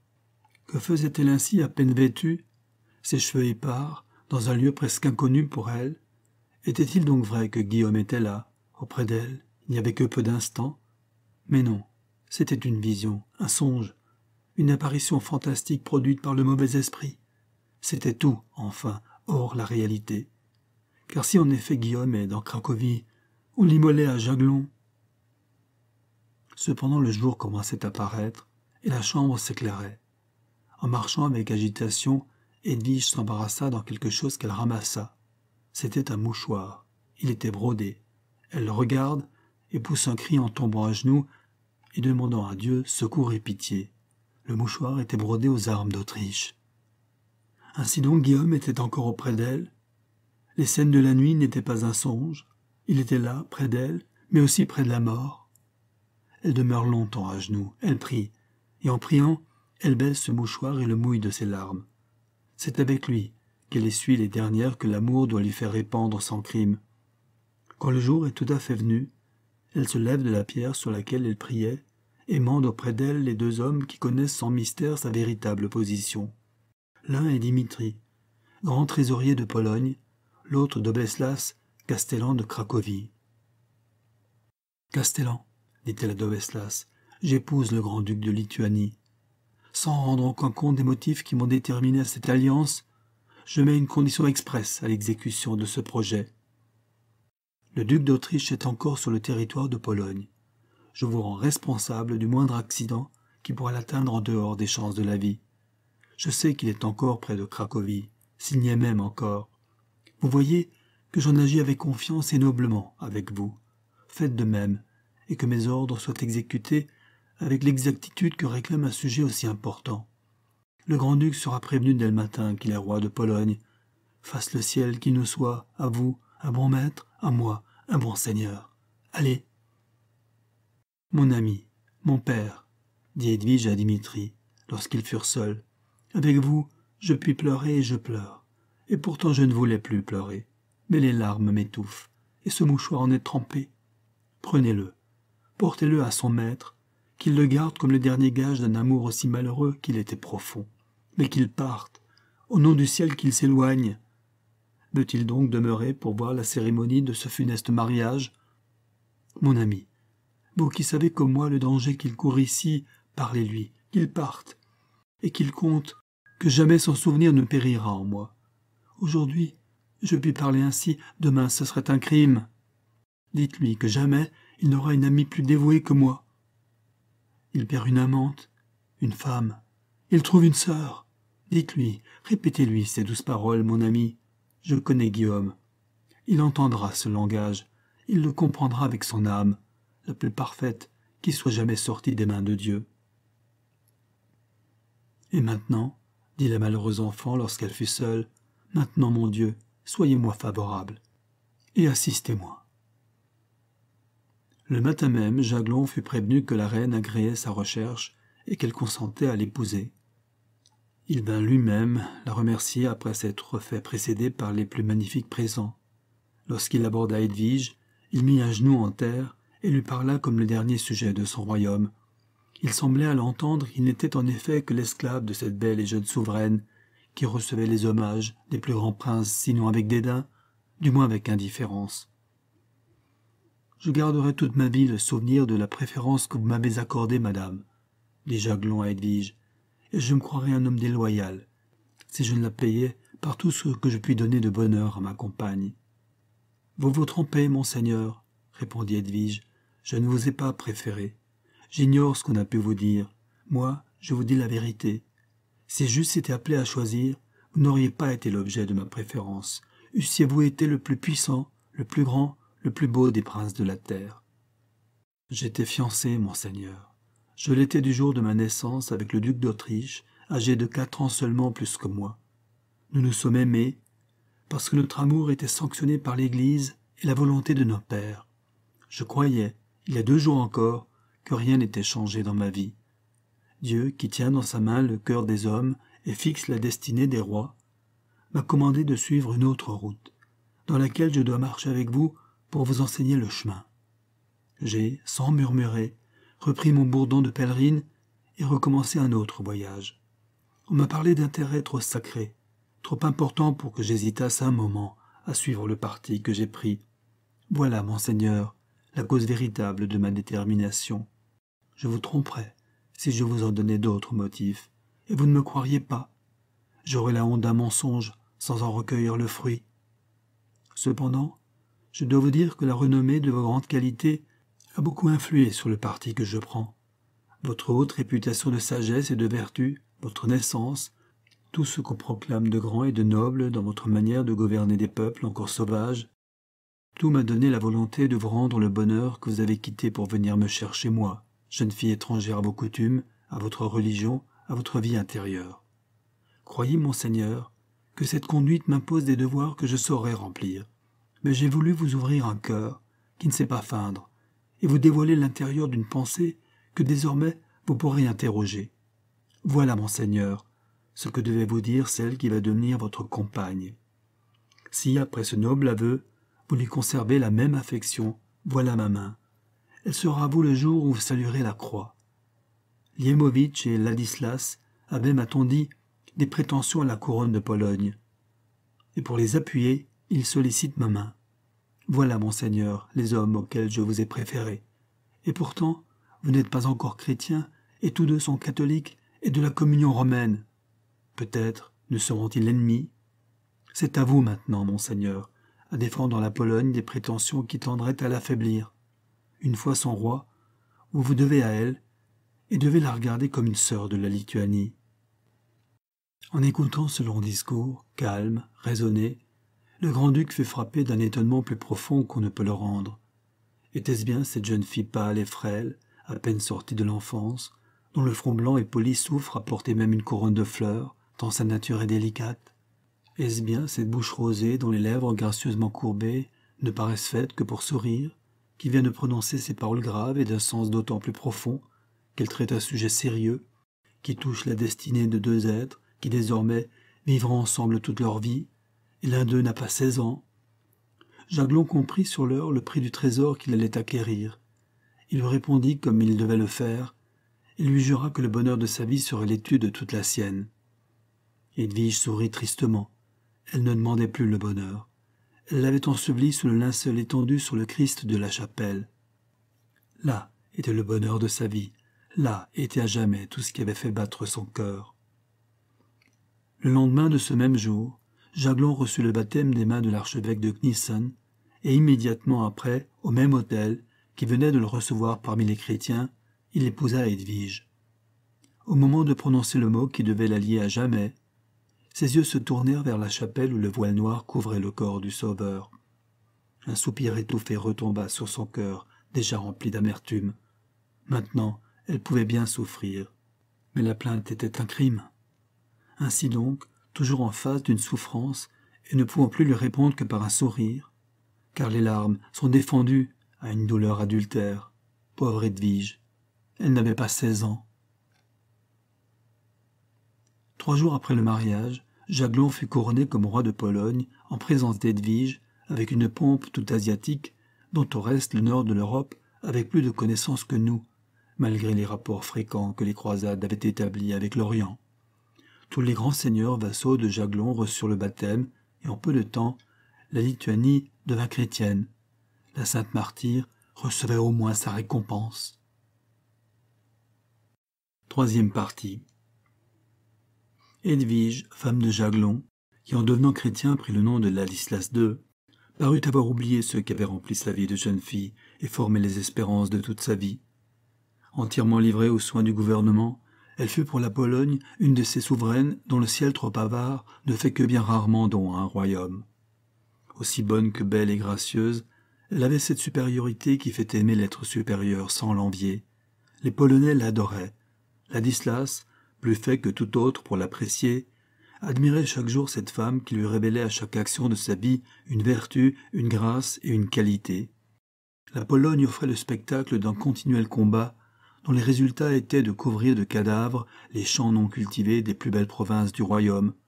Edwige, peu de temps après son mariage, fut avec le roi dans la Grande Pologne, où le foyer des troubles était surtout alimenté par les prêtres et les nobles qui se déchiraient entre eux. La popularité dont jouissait Edwige, sa bonté, sa douceur, sa beauté merveilleuse qui parlait à tous les yeux, même les plus sauvages, tout contribua à calmer les dissensions qui déchiraient cette partie du royaume. Et comment la voix de cet ange aurait-elle été méconnue lorsqu'il sortait de sa bouche des paroles telles que celles qu'elle dit à Gnissen La cour venait d'y arriver. On y avait imposé les paysans des environs à une somme d'argent très forte pour l'entretien particulier de la reine, ils n'avaient que leurs bestiaux, on les leur prit, et les malheureux furent réduits à la plus entière misère. Ils avaient entendu louer leur belle jeune reine, ils furent devant son palais à Gnissen, et l'un d'eux osa élever une voix suppliante pour demander pitié, car alors le mot justice n'était prononcé qu'en tremblant par le pauvre. Edwige, en entendant ces cris, en voyant ces larmes, fut émue de pitié et ordonna que les bestiaux fussent rendus sur le champ aux paysans, ajoutant une somme d'argent de son épargne pour les payer de leur temps perdu et de leur peine. Edwige fit en même temps lever l'interdit que le chapitre de Gnissen avait déjà lancé pour châtier les malheureux de l'hardiesse qu'ils avaient eue de venir se plaindre à la reine. Entourée des femmes, des enfants de ces infortunés qui la bénissaient, elle souriait doucement à ces bénédictions partant du cœur. remarquant sur plusieurs visages l'altération produite par la fatigue et le malheur qui avaient pesé sur eux pendant plusieurs jours, elle s'écria Ah, sans doute, les bestiaux leur sont rendus, mais qui leur payera leurs larmes? La médiation d'une créature si parfaitement bonne ne fut jamais vainement employée. Grâce à elle, la Pologne fut bientôt entièrement pacifiée. Ce fut alors que le roi, fier de son bonheur, vint du titre de Marie d'Edwige, plus que de celui du roi de Pologne, et voulant montrer cette femme charmante à ses nouveaux sujets, la conduisit en Lituanie en 1387. Maintenant, je n'ai plus à parler d'Edwige comme je l'ai fait dans la première partie de sa vie. Je ne m'arrêterai qu'à une particularité remarquable, qui d'ailleurs peut l'être également comme fait historique. La Lituanie accueillit avec enthousiasme cette jeune souveraine de seize ans qui venait à elle pour lui donner la paix et lui apporter la lumière de la vraie foi. Les idoles furent renversées et la croix s'éleva sur leurs débris. Des églises, des couvents, de riches monastères furent dotés par ces nouveaux chrétiens qui voulaient prouver leur zèle pour la religion en même temps que leur amour pour leur jeune reine. Les édifices sacrés s'élevèrent de toutes parts, et bientôt la Lituanie devint une vraie sœur de la Pologne. Ladislas y laissa son frère Skirgiello, qui malheureusement rendit le pays aussi malheureux qu'Edwige l'avait rendu heureux par une civilisation douce et telle que devait la donner la lumière de l'Évangile. Tandis qu'Edwige était sainement occupée à répandre la vraie foi, le ciel l'éprouvait en lui envoyant de ces malheurs qui frappent sans espoir de consolation. Sa mère, la pieuse reine de Hongrie, fut assassinée dans le château où les seigneurs révoltés de la Hongrie la tenaient prisonnière avec sa fille Marie. Sigismond, le fiancé de Marie, arriva trop tard pour prévenir le crime. Edwige avait déjà une croix à porter, elle s'inclina devant ce nouveau calice. Dieu la voulait tout à lui. Souvent, elle pleurait doucement en priant Dieu de lui accorder un enfant. Je serais heureuse, pensait-elle, si j'étais mère. Il me manque à soigner un enfant d'amour. Pauvre abusée. Ce besoin du cœur qu'elle sentait comme une souffrance inquiète, c'était cette autre âme dont elle s'était séparée et qu'elle désirait si vivement. Cette âme créée avec la sienne et qui, avec elle, avait aimé. Elle ne donnait plus de larmes à cet amour, mais la source n'en était pas tarie, et ses larmes retombaient sur son cœur qu'elle inondait d'une mer d'amertume. Quatrième partie. L'année 1388 vit terminer les affaires de Lituanie. Tranquille de ce côté, Ladislas voulut retourner à Cracovie et le proposa à Edwige. Toujours soumise à la volonté de son maître et seigneur, elle consentit au retour avec cette impassibilité, d'ailleurs compagne d'une grande et solennelle douleur, qui ne peut reconnaître une émotion en dehors d'elle-même. Comment êtes-vous aussi indifférente pour les lieux que vous devez aimer bien au-delà de votre nouvelle patrie? lui dit un jour Jaglon, comme ils allaient arriver à Cracovie. Edwige le regarda avec étonnement. Jamais il ne lui avait parlé sur ce ton. Elle lui demanda l'explication de ses paroles. L'explication de mes paroles, madame, vous l'aurez à Cracovie. Edwige demeura confondue. Quelle pouvait être la cause de ce changement subit dans Ladislas? Qu'avait-elle fait? Rien qui pût blesser la plus sévère vertu. La plus exigeante des jalousies eût été paisible à côté d'un ange aussi pur. Elle se résigna à souffrir. Ne suis-je pas né pour la douleur? se dit l'infortuné en joignant pieusement ses mains et les élevant au ciel. Ils arrivèrent à Cracovie, Ladislas, toujours plus sombre et plus farouche dans son humeur, ne disait rien à la reine pour lui rappeler les paroles sinistres du voyage, mais il la fuyait et paraissait réfléchir sur un grand projet. Edwige fut le trouver un jour dans l'intérieur de son appartement. Monseigneur, lui dit-elle avec une dignité calme, vous m'avez dit quelques paroles amères que je ne crois pas mériter. Du moins, ma conscience est-elle pure de toute faute commise avec connaissance d'offense Qu'avez-vous à me reprocher? Ce que j'ai à vous reprocher, madame, et c'est vous qui me le demandez? Lorsque votre amant déguisé vient jusque dans votre palais, et cela au milieu de la nuit, voilà donc la vertu de cette femme dont je ne prononçais le nom qu'à genoux. Elle m'a trompé, trompé, moi. Edwige avait été légèrement émue au premier mot qu'avait prononcé Jaglon, mais ensuite elle devint pâle et tremblante. Une accusation aussi infâme quand l'infortuné se mourait de la peine concentrée, de cet amour réduit au silence et qui lui dévorait le cœur, mais l'indignation prit bientôt la place de l'émotion. Elle se releva, la tête haute, elle laissa tomber sur son mari un de ces regards accablants qui révèlent toute une âme innocente un accusateur injuste. Monseigneur, lui dit-elle avec un accent dont la froideur devait annoncer à Jaglon que désormais il ne trouva plus dans Edwige la tendresse qu'elle lui avait accordée. Monseigneur, je vous demande, j'exige même, que vous me nommiez l'homme assez lâche pour avoir accusé sa souveraine et l'avoir flétrie par un mensonge. Le roi parut interdit. Il ne répondit pas. Edwige le regarda avec une sorte de sentiment presque sévère, puis, sans renouveler sa question, elle ouvrit la porte de la grande salle du trône et appela les barons qui s'y trouvaient en ce moment. C'étaient Dimitri et plusieurs autres seigneurs polonais appartenant spécialement à la maison de la reine. Mes seigneurs, dit-elle, le roi m'accuse d'avoir compromis son nom. Je le dis devant lui. Répondez, je vous permets de tout dire. Ai-je donc été ici une fille abandonnée du Seigneur, au point d'encourir le blâme de vos mères et de vos femmes? Ah s'écria Dimitri. Ma sainte, mon et maîtresse Tais-toi, mon vieil ami, dit la reine, touchée du dévouement du vieillard. Tais-toi, tu m'aimes, toi, et l'on pourrait croire qu'il y a prévention de ta part, que d'autres parlent. Ah nous vous vénérons tous s'écrièrent les barons en tombant à ses pieds. Que faut-il faire pour prouver l'innocence de notre sainte reine? Ladislas se leva et jetant un regard sombre sur ces hommes prosternés aux pieds de Hedwige. Comment se fait-il donc, dit-il à Dimitri, qu'un des hommes les plus en dignité dans la Pologne ait articulé sans certitude une parole contre l'honneur de la reine? Sa vie doit payer sa témérité s'il a menti. Son nom, monseigneur. Jaglon gardait le silence. Son nom, monseigneur. Il continua à se taire. Monseigneur, dit Edwige, est-ce ainsi que vous administrez la justice en Lituanie? Vous accusez dans l'ombre et vous jugez, vous déshonorez au soleil.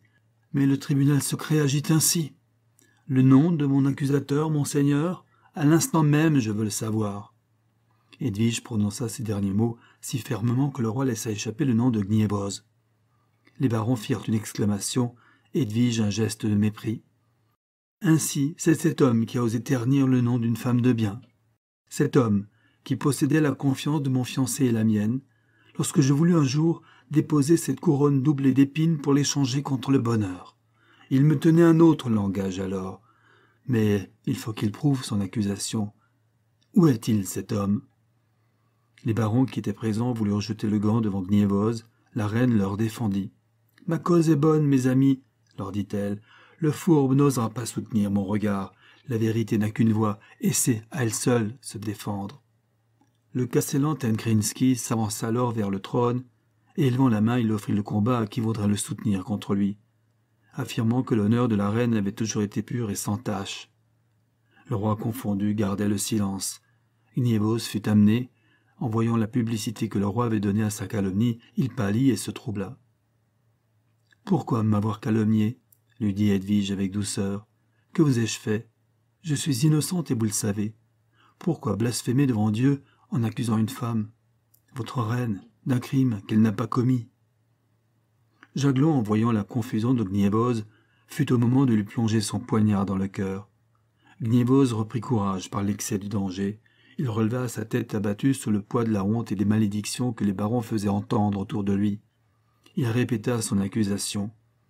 Mais ce fut d'une voix tremblante qu'il affirma que Guillaume était venu à Cracovie depuis le mariage de la reine et qu'il s'était introduit clandestinement dans le palais par son consentement et avec l'aide de Thérèse. Les yeux de Jaglon lançaient des flammes pendant ces paroles outrageantes. Edwige, calme comme l'innocence, ne parut pas effrayée de la colère de son mari. Je ne suis pas coupable, répondit-elle, mais je veux un jugement, qu'on assemble des juges, je veux que cette affaire soit éclaircie. Oh mon Dieu, dit-elle intérieurement, faut-il donc que je comparaisse comme une criminelle dans une cause pour laquelle je suis chaque jour victime offerte en holocauste par une nouvelle souffrance? Dimitri s'avança alors à son tour pour parler au roi. Son grand âge, la considération dont il était entouré, lui donnaient le droit de parler avec plus de liberté qu'un autre. Il le fit avec feu, et mit à ses paroles cet accent de vérité qui va chercher la persuasion dans le cœur le plus incrédule. Jaglon fut ébranlé. Son front devint plus calme. Toutefois, au nom de Guillaume, il reprenait l'expression farouche qu'il avait depuis quelques semaines. Ce nom faisait aussi une impression vive sur Edwige, et ses joues devenaient pourpres en l'entendant prononcer. Les battements de son cœur soulevaient l'étoffe de sa robe, et elle souffrait de cette douleur qui tue, car il faut la cacher. Jaglon suivait d'un œil irrité les divers mouvements que révélait la physionomie mobile de Edwige. Il paraissait prêt à s'emporter de nouveau en voyant l'agitation de la reine au nom seul de ce rival qu'il détestait avec la violence de passion d'un cœur comme le sien, où la nature, encore primitive, conservait toutes ses sensations dans la force de leur sève et de leur jeunesse. Plus il aimait Edwige, plus son amour était exigeant et absolu. Il savait bien qu'elle avait aimé Guillaume, mais qu'elle l'aima encore, voilà ce que sa jalousie ne pouvait supporter sans qu'une pensée de mort ne vînt à l'instant s'offrir comme moyen de vengeance. Je serais heureux de le rencontrer. Ce beau Guillaume, disait Ladislas, je lui jetterais le gant, et s'il avait du cœur, il le relèverait, et alors, alors, ce serait mon tour d'être vainqueur. Monseigneur, lui dit Edwige, je demande le jugement des hommes et même celui de Dieu. Je suis innocente. Mais puisqu'un reptile impur laissé de la bave en souillure sur la couronne de Pologne que le royaume m'a confiée, il est de mon devoir de lui rendre son lustre et de prouver mon innocence. Je demande des juges. Une diète fut convoquée à Wisleka en 1389. Cette diète fut solennelle par haute importance que la noblesse de Pologne mit à faire reconnaître l'innocence de sa reine. Il y avait en ce moment de crise une scission complète entre la Lituanie et la Pologne. Les barons qui, avant le mariage, étaient les plus mal disposés contre Guillaume, comparurent comme témoins pour certifier non seulement de l'innocence des Hedwige, mais de l'honneur du duc d'Autriche. La reine parut à cette diète entourée de toute sa maison. Elle voulut elle-même plaider sa cause et le fit avec une admirable éloquence. Sa beauté pure et chaste, comme celle de la plus sainte des vierges, était animée en ce moment par l'indignation qu'elle éprouvait d'être dans l'obligation de se justifier. Tous les officiers de sa maison d'honneur, ses femmes, tout ce qui composait sa cour, affirma sous le serment que la reine était non seulement innocente, mais que jamais son honneur n'avait été soupçonné pendant le temps qu'elle avait passé en Pologne. Le castellantène Krinsky s'avança dans le milieu de la salle et déclara que la reine était la plus vertueuse comme la plus sainte des femmes, et posant sa main droite sur les saints évangiles qui étaient sur une table, il offrit le combat pour soutenir son serment. Douze chevaliers suivirent son exemple. Gnievose, altéré par la force de la vérité, voulut encore essayer de reproduire son accusation, mais les murmures de l'assemblée entière lui imposèrent silence, et Dimitri de Goret, l'accusant à son tour d'avoir trempé dans le complot formé contre la vie du duc d'Autriche, pour demeurer possesseur des immenses richesses que le prince lui avait laissées en quittant Cracovie, il devint confus, et son silence acheva de convaincre les juges. Ils rendirent justice à la reine et proclamèrent hautement par un jugement solennel son innocence. Le même jugement condamna Gnievos au châtiment des calomniateurs. Ce châtiment était remarquable, et sa sévérité prouve que les temps que nous nommons barbares reconnaissaient mieux que le nôtre les vices qu'il fallait punir. Le Sénat prononça donc contre Gnievos une peine spéciale. Il fut conduit dans la salle même où siégeait le tribunal. Là, en présence de la cour assemblée, et de sa souveraine outragée, il se coucha par terre sous un banc, puis il dit dans cette posture Je reconnais que j'ai parlé traîtreusement contre la reine, ma vertueuse et chaste maîtresse. Je lui en demande humblement pardon, et je reconnais qu'en agissant comme je l'ai fait, j'ai aboyé malhonnêtement contre une sainte princesse. Après avoir dit ce peu de mots, il fut obligé d'aboyer lui-même comme un chien, et cela par trois fois. Tel était à cette époque en Pologne, le châtiment des calomniateurs.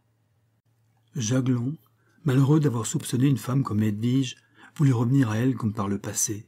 Elle l'accueillit comme elle savait le faire, car elle était parfaitement bonne et indulgente. Mais la blessure saignait encore. Elle ne pouvait consulter son cœur sans ressentir une vive souffrance. Ce n'était pas l'orgueil qui la faisait souffrir. Son âme était trop belle et trop pure. Mais être accusée, soupçonnée surtout, car la calomnie peut prendre toutes les voies, et le mépris lui répond. Mais le cœur sur lequel vous reposez votre tête, vous soupçonnez, c'est une douleur amère qu'une parole de repentir ne peut effacer. Le cœur généreux de la femme offensée peut bien pardonner, mais oublier, cela n'est pas en sa puissance. Toutefois, Edwige était si parfaite, son âme était si grande qu'elle pardonna. Mais l'injustice de l'homme qu'elle avait nommé son époux demeura dans son cœur par le souvenir, pour y introduire une douleur de plus. L'infortuné avait une vie dévouée à la souffrance. Des faits signalèrent son retour à Cracovie. Elle accepta cette sorte de réparation et fut même prévenante et gracieuse pour Jaglon. Elle comparait sa position de femme et de reine avec celle de Marie, sa sœur aînée. Et la sainte trouvait encore moyen de remercier Dieu de lui avoir donné le lot le meilleur. Lorsqu'elle voyait la conduite de Sigismond, qui, loin d'être reconnaissant de la couronne qu'il devait à Marie, lui donnait une rivale dans la comtesse Barbe et la contraignait à la voir près d'elle. Jaglon était du moins fidèle, et sa jalousie ne venait que d'un excès d'amour. Mais Edwige était-elle donc heureuse d'être aimée de Jaglon Les chevaliers teutoniques, vassaux par serment de la couronne de Pologne, ravageaient ses frontières et portaient le fer et le feu, non seulement en Pologne, mais en Lituanie. Devenu chrétien, ce pays ne devait plus être soumis à ces attaques réitérées des chevaliers teutoniques, et pourtant les vice-rois que Jaglon envoyait en Lituanie ne pouvaient réprimer l'audace et les tentatives des chevaliers. Jaglon quitta Cracovie et fut lui-même contre les ennemis qui jamais ne pouvaient être vaincus par les généraux qui l'envoyaient contre eux. Il partit et laissa la reine investie de tout le pouvoir souverain. Ce fut alors que l'infortuné comprit l'horreur de sa position. Elle reconnut en ce moment combien elle avait été coupable en donnant sa main, tandis que son cœur était tout à un autre. L'esclavage qu'elle s'était imposé lui fut alors révélé par le bonheur qu'elle ressentit de se voir libre, libre de se dire Je pourrais donc pleurer sans rendre compte de mes larmes. Je pourrais donc souffrir sans être contrainte à cacher ma douleur sous un sourire. Sa vie était misérable, et pourtant elle était reine, elle était jeune, elle était belle, sa renommée était célèbre, et dans toute l'Europe les ménestrels célébraient la beauté de la reine de Pologne. Mais de quel prix était pour elle cette beauté si fameuse? Ajoutait-elle à son bonheur, que lui importait d'être belle? Souvent le grand miroir de Venise qui était dans sa chambre réfléchissait son image sans qu'elle le consultât pendant des jours entiers. La vie était décolorée pour elle. Il lui fallait de grands intérêts. Le sort la servit à souhait pendant l'absence de Jaglon. Sigismond, beau-frère d'Edwige, était roi de Hongrie par son mariage avec Marie, l'aînée des filles du roi Louis. La politique de ce royaume était alors le résultat d'intrigues obscures et de diverses chances résultant des événements que chaque jour voyait naître et se succéder rapidement. Edwige prit aussitôt ce prétexte pour sortir de l'inaction qui la tuait en laissant ses souvenirs dominer sa vie. Elle était seule à Cracovie. Sans attendre une réponse qui d'ailleurs ne pouvait être que favorable, Edwige rassemble une armée, monte à cheval, en passe la revue dans les environs de Cracovie et se mettant à la tête des troupes enthousiasmées de voir leur jeune souveraine au milieu de leurs escadrons, elle marche sur la Hongrie en prévenant l'ennemi par une marche et une attaque prompte. Elle n'avait alors que dix-neuf ans. Sa beauté, toujours ravissante, était incomparable dans cette position si intéressante d'une femme bravant le danger et la mort avec l'insouciance du malheur. Il y a dans cette abnégation un charme attractif qui devait être ressenti par un peuple éminemment sensible à la beauté et à tout ce qui est hors des lignes ordinaires de la vie commune. Conduits par elle, les Polonais firent des prodiges de valeur. Dans cette campagne, ils voulaient lui prouver leur amour par une obéissance entière. Aussi, jamais un ordre n'avait besoin d'être donné pour ainsi dire, il était prévenu. Avec de tels hommes, Edwige comprit qu'elle pouvait tout entreprendre. Elle entra dans la Russie rouge, et sacrifiant le pays où elle était née à sa nouvelle patrie, où l'amour de ses sujets venait de lui donner une seconde vie, Edwige prit d'assaut plusieurs villes que son père, Louis d'Anjou, roi de Hongrie, avait détachées de la couronne de Pologne pour les attacher comme de beaux joyaux à celle de Hongrie. Elle prit Yaroslav, Halich, Lemberg, Przemil et plusieurs autres villes ou forteresses que la Pologne conserva jusqu'au jour de sa ruine. À peine remise des fatigues de cette campagne glorieuse, dans laquelle elle affrontait les dangers comme le dernier soldat, elle marche sur la Silésie. Ladislas, duc d'Opella, s'était emparé de plusieurs villes polonaises. Elle les reprend et rend ainsi en quelques mois à la Pologne une portion de la grandeur territoriale reconquise et lui donne une gloire dont le lustre recevait encore plus d'éclat donné de sa main. Ce fut au milieu du délire de joie qu'inspiraient ses triomphes à la nation que Jaglon la trouva à son retour de Lituanie. Vous êtes un ange, dit-il à cette femme vraiment remarquable. Vous êtes un ange, et je ne devrais plus vous parler qu'à genoux. Vous ne me regardez plus qu'avec un œil sévère. Vous avez raison, Edwige, je ne vous méritais pas. Qui a pu vous soupçonner est indigne de vous. Edwige ne répondit pas à ces paroles qui pourtant venaient du cœur, mais la route qui menait au sien était fermée depuis ce qu'avait amené la diète de Vislika. Elle remplissait les devoirs d'épouse, montrait une grande considération à Jaglon, mais évitait de se trouver seule avec lui pour ne pas laisser naître un moment de confiance. Jaglon s'apercevait de l'intention d'Edwige, et son cœur se brisait car il l'aimait. La malheureuse femme était aussi bien à plaindre. Que pouvait-on demander en effet à une jeune et ravissante créature qui ignorait et devait ignorer toujours les joies du cœur? Souvent, dans les moments où le découragement de l'âme suivait un accès de souffrance trop vive, Edwige pleurait sur sa stérilité. Dieu m'a encore frappé de ce malheur, disait-elle. Ma couche est stérile, et je mourrai sans laisser après moi une jeune fleur qui rappelle mon passage sur cette terre de misère. Sa santé s'altérait, et chaque jour elle sentait en elle se développer un germe de souffrance qui pouvait menacer sa vie. Elle sourit à cette pensée la première fois qu'elle lui apparut, comme à une annonce de délivrance. Un jour, une cause de discussion renaissante fut rétablie entre elle et Jaglon par le favori du roi, comme la chose sera toujours, parce que les favoris des rois n'existent que pour leur malheur et la honte de leur règne, les exceptions en sont si rares qu'elles peuvent être citées. Cet homme, dont le nom était Spitkov, demanda et obtint ce que les usages et les lois de la Pologne n'avaient jamais permis jusqu'alors. C'était l'investiture de la Podolie à titre de fief perpétuel. Edwige s'éleva contre cette faveur et déclara que jamais elle n'y donnerait son assentiment. Tant que je vivrai, dit-elle, la Pologne sera maintenue dans sa glorieuse prospérité. Ce n'est pas ma main qui détachera une seule perle de sa couronne. Son opposition finit par l'emporter et la Podolie demeura ce qu'elle était. Dans ce même temps, Jaglon fut au moment de perdre une partie de la Lituanie par la révolte des seigneurs lituaniens qui se faisaient la guerre entre eux, et, tout entier à leur querelle, abandonnaient les frontières aux chevaliers teutoniques qui ravageaient ce beau pays et menaçaient de l'envahir. Jaglon ne vit de salut que dans la médiation de Hedwige, et lui demanda comme une grâce de sauver ce pays qu'il avait déjà délivré de l'enfer. S'ils vous entendent, lui dit-il, ils seront vaincus. Edwige, quoique souffrante, consentit à ce voyage, quoique dans la saison où elle l'entreprit, les ombrages épais des vastes forêts de la Lituanie donnaient un aspect sauvage et triste à tout ce royaume, qui alors était spécialement couvert de bois et d'immenses forêts. Elle y fut cependant avec le roi, et travailla aussitôt à rétablir la paix entre les principaux seigneurs lituaniens, qui étaient tellement en opposition entre eux que la guerre civile allait éclater. Edwige demanda à Dieu son secours et commença sa conversion. Sa voix harmonieuse rappela au chevalier la gloire du pays pour laquelle il doit vivre et mourir. Son discours prononcé avec émotion, et une émotion vraie, fit un effet immédiat.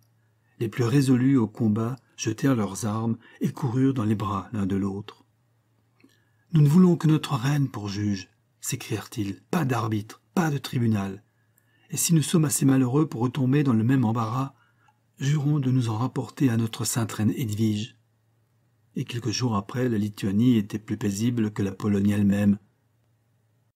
Jaglon sentait au cœur une joie mêlée de tristesse en se disant Cette ravissante créature est ma femme et pourtant je lui suis presque étranger. Je n'ai sur elle que le pouvoir matériel que m'a donné l'anneau qu'elle porte à la main gauche, mais son cœur, ce cœur, base d'élection du ciel, ce cœur ne bat pas à mon approche, tandis qu'il palpite au souvenir d'un passé qu'elle sait lui rendre vivant. Elle ne voit plus cet homme, et que m'importe si elle l'aime toujours? La jalousie aveugle quelquefois, mais habituellement elle éclaire et donne une sorte d'instinct qui révèle à l'avance comme une seconde vue. Jaglon, satisfait de voir enfin la paix promise à ses provinces paternelles, voulut les délivrer de la tyrannie des chevaliers teutoniques, il prépara tout pour leur faire une guerre à mort, il fallait par humanité même qu'elle fût décisive et sanglante. Les préparatifs furent proportionnés aux intentions du roi, et la guerre fut déclarée. Mais les grands de Lituanie demandèrent au roi d'avoir une entrevue avec le grand maître de l'ordre, le roi y consentit. Edwige, qui connaissait la violence de Jaglon, lui demanda la permission de l'accompagner à Ivanoklov, en Kujavie, lieu indiqué pour l'entrevue. Le roi n'aurait pas osé le lui proposer. Cependant, il avait préparé ce qui pouvait rendre une cour brillante indépendamment de sa sûreté. Aussitôt que tout fut prêt, la cour de Pologne se rendit à Ivanoklov. La reine et le roi étaient accompagnés d'une foule de barons et d'évêques dont les avis devaient être donnés dans la discussion qui aurait lieu. Edwige connaissait le prix de l'importance d'une parole prononcée par une voix imposante au milieu d'une question dont la gravité embarrasse. Il fallait calmer les passions, il fallait apaiser un juste esprit de vengeance et arrêter une ambition et une volonté de conquête que la force et le talent n'autorisaient que trop. Edwige désirait que cette entrevue fût une source et une origine de paix et d'alliance entre les chevaliers teutoniques et la Lituanie particulièrement, mais dès le premier jour elle s'aperçut que les chevaliers étaient de mauvaise foi. Leur grand maître, Conrad de Jungen, fit voir une volonté déterminée de faire une guerre meurtrière. Les commandeurs qui l'avaient suivi parlèrent comme lui. Alors Edwige, qui jusque-là avait gardé le silence, se leva du trône sur lequel elle était assise, et regardant avec indignation ces hommes de sang et de rapine qui déshonoraient le beau nom de la chevalerie. Jusqu'à ce moment, leur dit-elle d'une voix sévère, j'ai prié et j'ai demandé moi-même à mon Seigneur et roi de vous traiter avec bonté et surtout de ne pas tirer l'épée hors du fourreau. Je l'avoue, j'ai horreur du sang et surtout du sang chrétien. Mais puisque notre bonté vous fait oublier votre devoir, c'est à nous de vous le rappeler. Ne savez-vous plus, sire chevalier de Jungen, que vous avez juré fidélité au roi de Pologne et que vous avez reconnu votre vasselage Vous êtes nos sujets. Vous relevez de nous. Vous êtes vassaux de la couronne de Pologne. Et vous êtes en rébellion contre elle. Vous vous soulevez contre vos bienfaiteurs. Car les rois de Pologne l'ont toujours été. Vous leur avez juré fidélité et vous les combattez. Vous vous dites homme de Dieu, ecclésiastique, et vous pillez les villages. Vous ravagez le pays comme des brigands, comme les Tartares qui forment les hordes qui habitent le désert, et ce sont des hommes, des chrétiens, qui agissent ainsi, Dieu vous en punira. Vous refusez la paix que je vous offre aujourd'hui, vous rejetez mes offres. Vous verrez le résultat de votre obstination. Tant que je vivrai, j'empêcherai la guerre à force d'efforts, parce que le sang qui coule sous vos lances et sous celle de mes soldats est un sang chrétien. Mais lorsque Dieu m'aura retiré de cette terre, ajouta-t-elle avec un mélancolique sourire, et regardant au ciel comme pour remercier Dieu de cette délivrance, quand je serai morte, alors vous regretterez de m'avoir repoussé. Je voulais aujourd'hui, pour la gloire de l'Église, vous convaincre, mais vous êtes endurcis et vous serez punis. Dieu châtie les hommes féroces qui font couler le sang injustement, et quand Dieu vous paiera le prix mérité de votre indigne conduite envers lui, il y joindra le châtiment de votre ingratitude et de votre cupidité. La jeune sainte souveraine parlait ainsi d'un ton ferme à ces hommes qui méconnaissaient en elle la femme inspirée par l'Esprit Saint. Elle leur prédisait l'avenir. Et lorsqu'après sa mort prématurée, Jaglon porta la gloire de la vengeance dans le cœur de l'ordre, il le frappa si rudement qu'il ne se releva jamais depuis les victoires mémorables de Tannenberg et Grunberg. Conrad de Jungen et les chevaliers admiraient cette jeune femme si délicatement formée et dont la bouche rosée articulait des paroles dont la sagesse profonde eût été approuvée par la tête blanche du plus habile publiciste de son temps. Mais ils ne se laissèrent pas convaincre cependant par elle, et le malheur qu'elle leur prophétisa devait un jour les en punir. Edwige retourna à Cracovie. Elle aimait sa chère Pologne. Elle aimait d'ailleurs ce palais où chaque pas lui retraçait un souvenir heureux. Elle revivait dans le passé et le ranimait au fond de son cœur. Plus elle avançait dans la vie, plus elle voyait combien le bonheur qu'elle avait repoussé était le seul selon son âme aimante. Elle souffrait d'une douleur dont elle ne pouvait se plaindre, et cet état la tuait lentement. Entièrement occupée des soins de son royaume et du gouvernement qu'elle dirigeait comme celui d'une grande famille, elle donnait à cette occupation tout le temps de la première partie du jour, mais ensuite elle était seule. Entre elle et Jaglon, il y avait peu de ces rapports intellectuels qui remplissent les moments où deux êtres qui s'aiment sont ensemble. L'éducation première du roi ne lui avait donné que ce qui est nécessaire pour cette vie d'intérieur à laquelle Edwige était accoutumée. L'étude, l'aumône et la prière remplaçaient les occupations plus sérieuses. Renfermée dans son oratoire pendant des heures entières, elle y priait avec une ferveur de sainte, pour obtenir de Dieu le pardon de cet amour qu'elle ne pouvait éteindre dans son cœur, et pour avoir de sa bonté une faveur qu'elle lui demandait chaque jour avec larmes. Un enfant. Voilà bientôt le moment où je quitterai le sillon que vous m'avez donné à labourer, mon Dieu, et je laisserai mon ouvrage inachevé, sans qu'une main reçoive de la mienne le soc de la charrue. Mon Dieu, faites que je connaisse les douceurs infinies d'un amour de mère. Pieuse comme un ange, Edwige s'occupa dans un moment de tranquillité qu'eut alors le royaume d'un objet dont l'exécution devait attacher à son nom une gloire immortelle. Elle fit faire sous ses yeux la première traduction de l'écriture sainte en polonais ainsi que les pères de l'Église et les vies les plus remarquables des saints et des pères du désert. Elle aimait à lire les révélations de sainte Brigitte, les écrits de saint Augustin, saint Bernard, et surtout saint Ambroise, dont l'esprit plus sérieux et moins romanesque peut-être traitait plus convenablement les hautes matières de la religion, et se trouvait ensuite plus à portée des esprits convertis nouvellement. L'archevêque de Milan avait converti lui-même bien des incrédules et des rhéteurs obstinés. Edwige le fit traduire et répandre en profusion dans les provinces de la Lituanie, où les esprits, encore incertains, avaient besoin d'être soutenus dans leur changement de croyance. La sollicitude d'Edwige pour ces nouveaux chrétiens remplaçait pour elle la tendresse active qu'elle aurait versée sur un enfant si le ciel lui en avait accordé un. La douleur intérieure et inconnue qui détruisait sa vie lui paraissait criminelle, et les plus sévères pratiques étaient employées par elle comme expiation. Elle portait un cilice pendant le carême, et sa peau délicate saignait souvent, sous la pointe acérée d'un clou ou le fouet d'une discipline. Pendant l'avant, elle jeûnait avec la même rigueur et l'observance aussi ponctuelle que la carmélite la plus austère. Un jour, Thérèse, ne voyant pas revenir sa maîtresse après deux heures de retraite, se hasarda à pénétrer dans son oratoire. Il était nuit, c'était l'hiver, et le vent sifflait aigrement dans les longues galeries du palais. Thérèse fut saisie de crainte en trouvant l'oratoire désert. La porte de la travée donnant dans la cathédrale était ouverte. Thérèse y entra, et ne voyant pas davantage sa maîtresse dans la travée, elle se hasarda à descendre dans l'église dont la vaste étendue était à peine éclairée à cette heure de la journée par la lampe du tabernacle et celle en argent massif qu'Edwige avait consacrée à la chapelle du Christ. La fidèle hongroise, inquiète pour sa maîtresse, et attirée vers elle par cet instinct du cœur qui ne trompe jamais, Thérèse parvint enfin à la découvrir dans cette chapelle. Elle la trouve étendue sur la terre, engourdie par le froid glacial de la pierre tumulaire, sur laquelle elle était tombée à la suite d'une longue méditation, épuisée par le jeûne et les larmes qu'elle avait versées. Ce jour était un funeste anniversaire pour elle. C'était le 12 février. Bien des années s'étaient écoulées sur cette première journée où Edwige avait jeté son voile sur le Christ, sur ce symbole d'espérance et d'amour pour tous les cœurs chrétiens. Les années avaient succédé aux années, et chaque anniversaire avait trouvé la place toujours saignante. Le matin de ce dernier jour, Edwige, irritée contre elle-même de la rébellion de son cœur, serra d'une main assurée la boucle de fer et vit avec joie l'albâtre de son corps se teindre de la pourpre de son sang. C'est ainsi qu'elle fut entendre l'office du soir dans sa travée.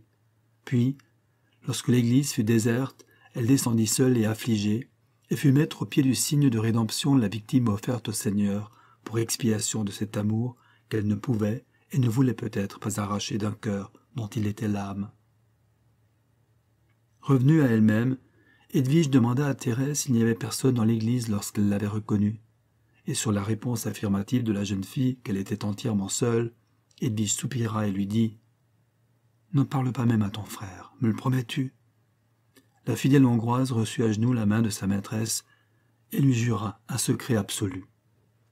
Et pourtant je ne suis pas coupable, mon Dieu, dit Edwige, en levant au ciel ses mains blanches et amaigries, semblables à deux mains d'albâtre.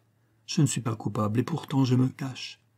Je fais un secret de ce qui devait être ma gloire et mon bonheur. La santé d'Edwige, déjà fort altérée, reçut un choc violent de la mort de Marie, sa sœur aînée.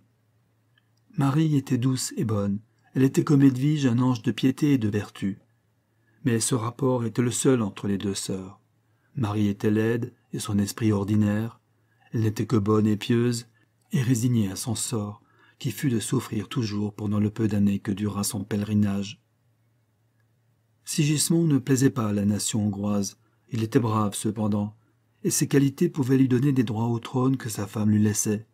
Mais la renommée d'Edwige, de cette jeune fille qui partit si belle et si adorée de cette même Hongrie, qui déjà à cette époque, devinant par avance ses hautes destinées, voulait la garder dans sa véritable patrie pour y donner et recevoir le bonheur.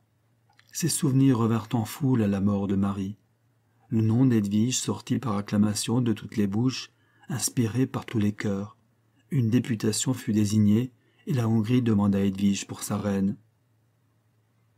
Sigismond, en apprenant cette nouvelle, ne perdit pas un moment pour conjurer l'orage.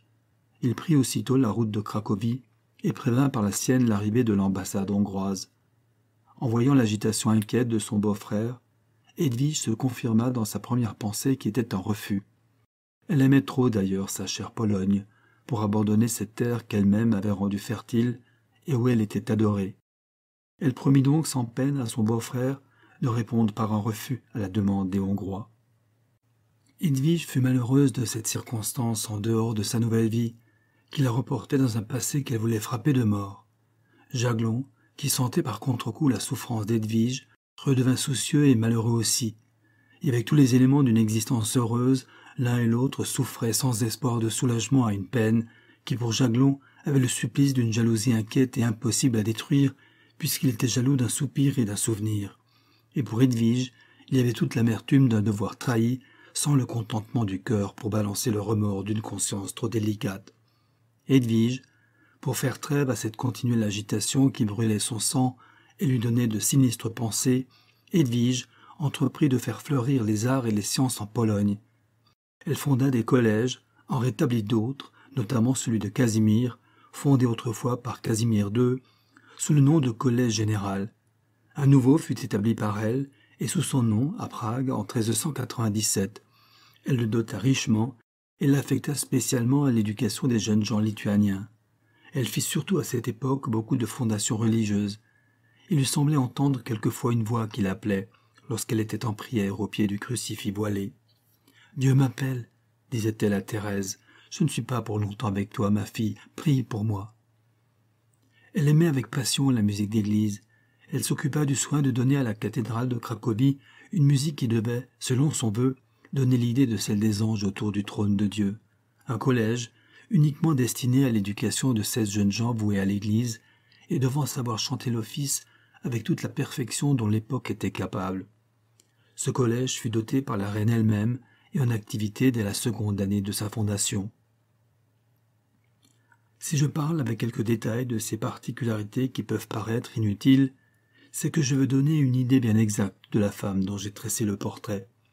Il n'eût été qu'une esquisse informe sans ces détails qui achèvent de mettre la couleur sur le trait.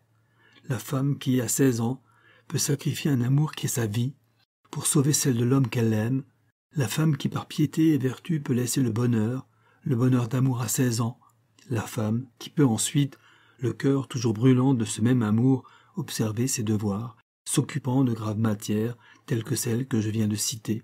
Une telle personne est tellement hors de la ligne, même habituelle des femmes distinguées, que pour la faire bien comprendre, il faut employer toutes les couleurs qui doivent colorer une si belle figure.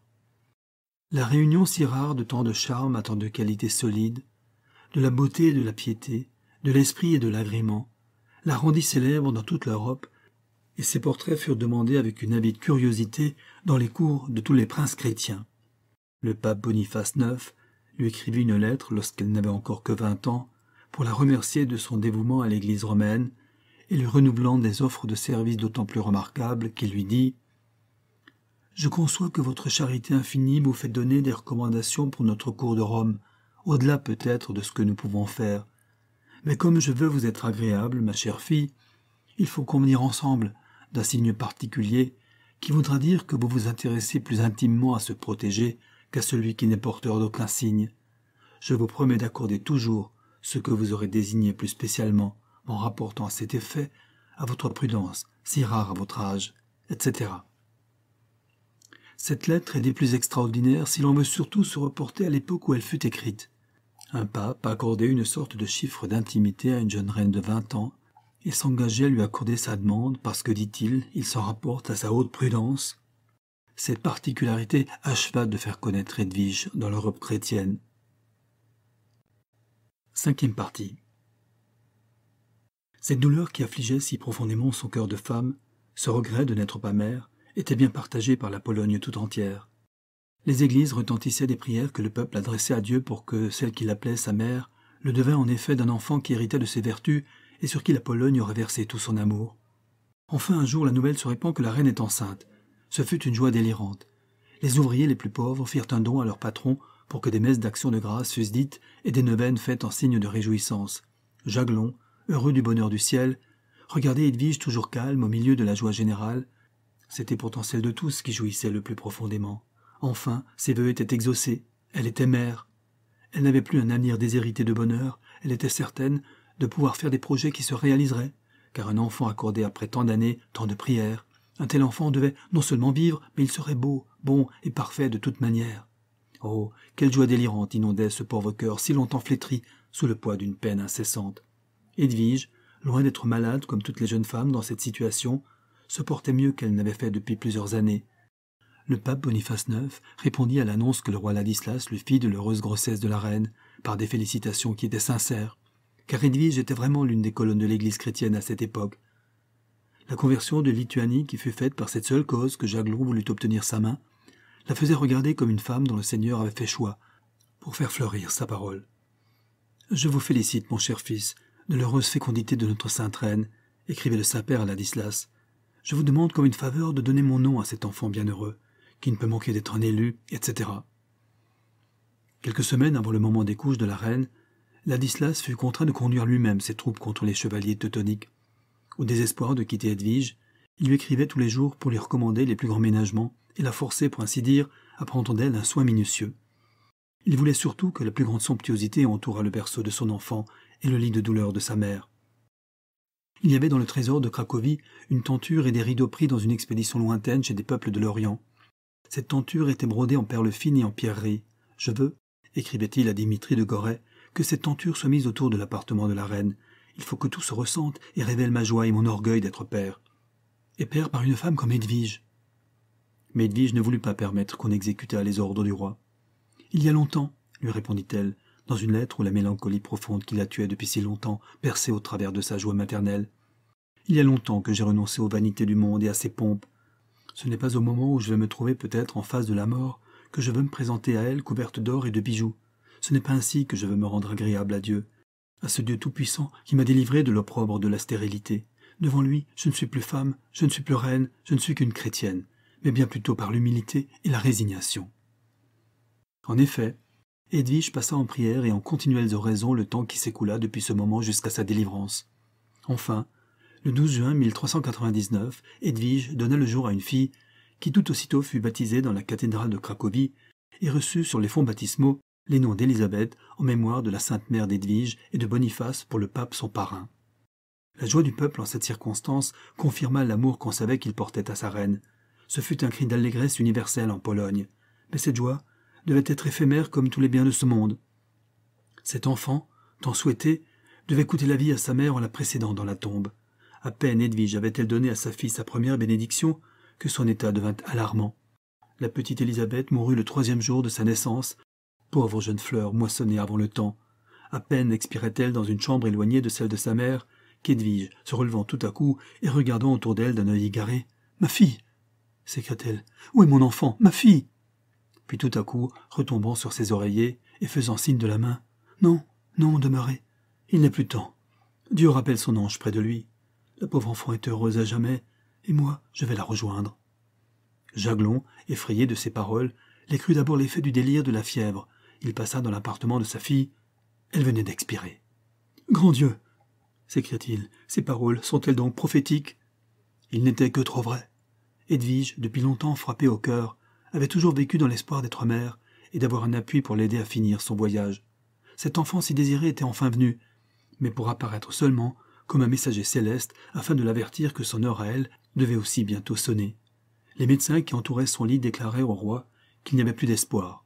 Edwige, en voyant l'air de mystère qui régnait autour d'elle, sourit avec ce calme tout divin que son âme angélique ne cessait d'éprouver, et appelant son mari auprès d'elle, Ladislas, lui dit-elle d'une voix assurée, je vais vous quitter. Je meurs jeune encore, et pourtant ma vie a été bien remplie. J'étais longtemps malheureuse de ma stérilité, et le moment où elle a cessé m'a causé une joie dont j'ai été trop heureuse. Dieu m'en a puni, je meurs. Je vais rejoindre ceux qui m'ont précédé. Priez pour moi, Ladislas, pensez à moi. Mais non pour me garder une fidélité que je ne demande qu'à votre souvenir. Je voudrais au contraire que vous prissiez pour femme après ma mort Anne, comtesse de Silei, ma cousine, qui a, comme vous le savez, des droits à la couronne de Pologne. Je voudrais que vous demeurassiez son roi. Promettez-moi de m'obéir, ajouta-t-elle en souriant. C'est mon dernier ordre. Jaglon, à genoux près du lit mortuaire où Edwige était expirante, ne pouvait que baiser ses mains déjà glacées, et ne répondait que par des larmes à ces paroles courageuses et noblement aimantes. Car il n'est pas commun de trouver une voix mourante qui recommande une autre affection que celle de sa mémoire. Edwige reçut ses sacrements avec la piété d'une sainte. Avant le moment de sa confession, elle voulut être seule avec Thérèse et demeure avec elle pendant une demi-heure. Que lui dit-elle? On l'ignore. Après sa mort, la jeune Hongroise retourna dans sa patrie. Le 17 juin 1399, comme midi faisait entendre ses douze coups à l'horloge de la cathédrale de Cracovie, Edwige rendit à Dieu une âme qu'elle avait reçue de lui et bien à son image. Elle mourut avec calme et résignation, laissant la Pologne au désespoir de sa perte. Sur la pierre de sa tombe, on grava cette épitaphe en vers latin. Si j'y Edwige, l'étoile de la Pologne. Elle sut dompter son cœur par la raison et se vaincre elle-même par une force surnaturelle.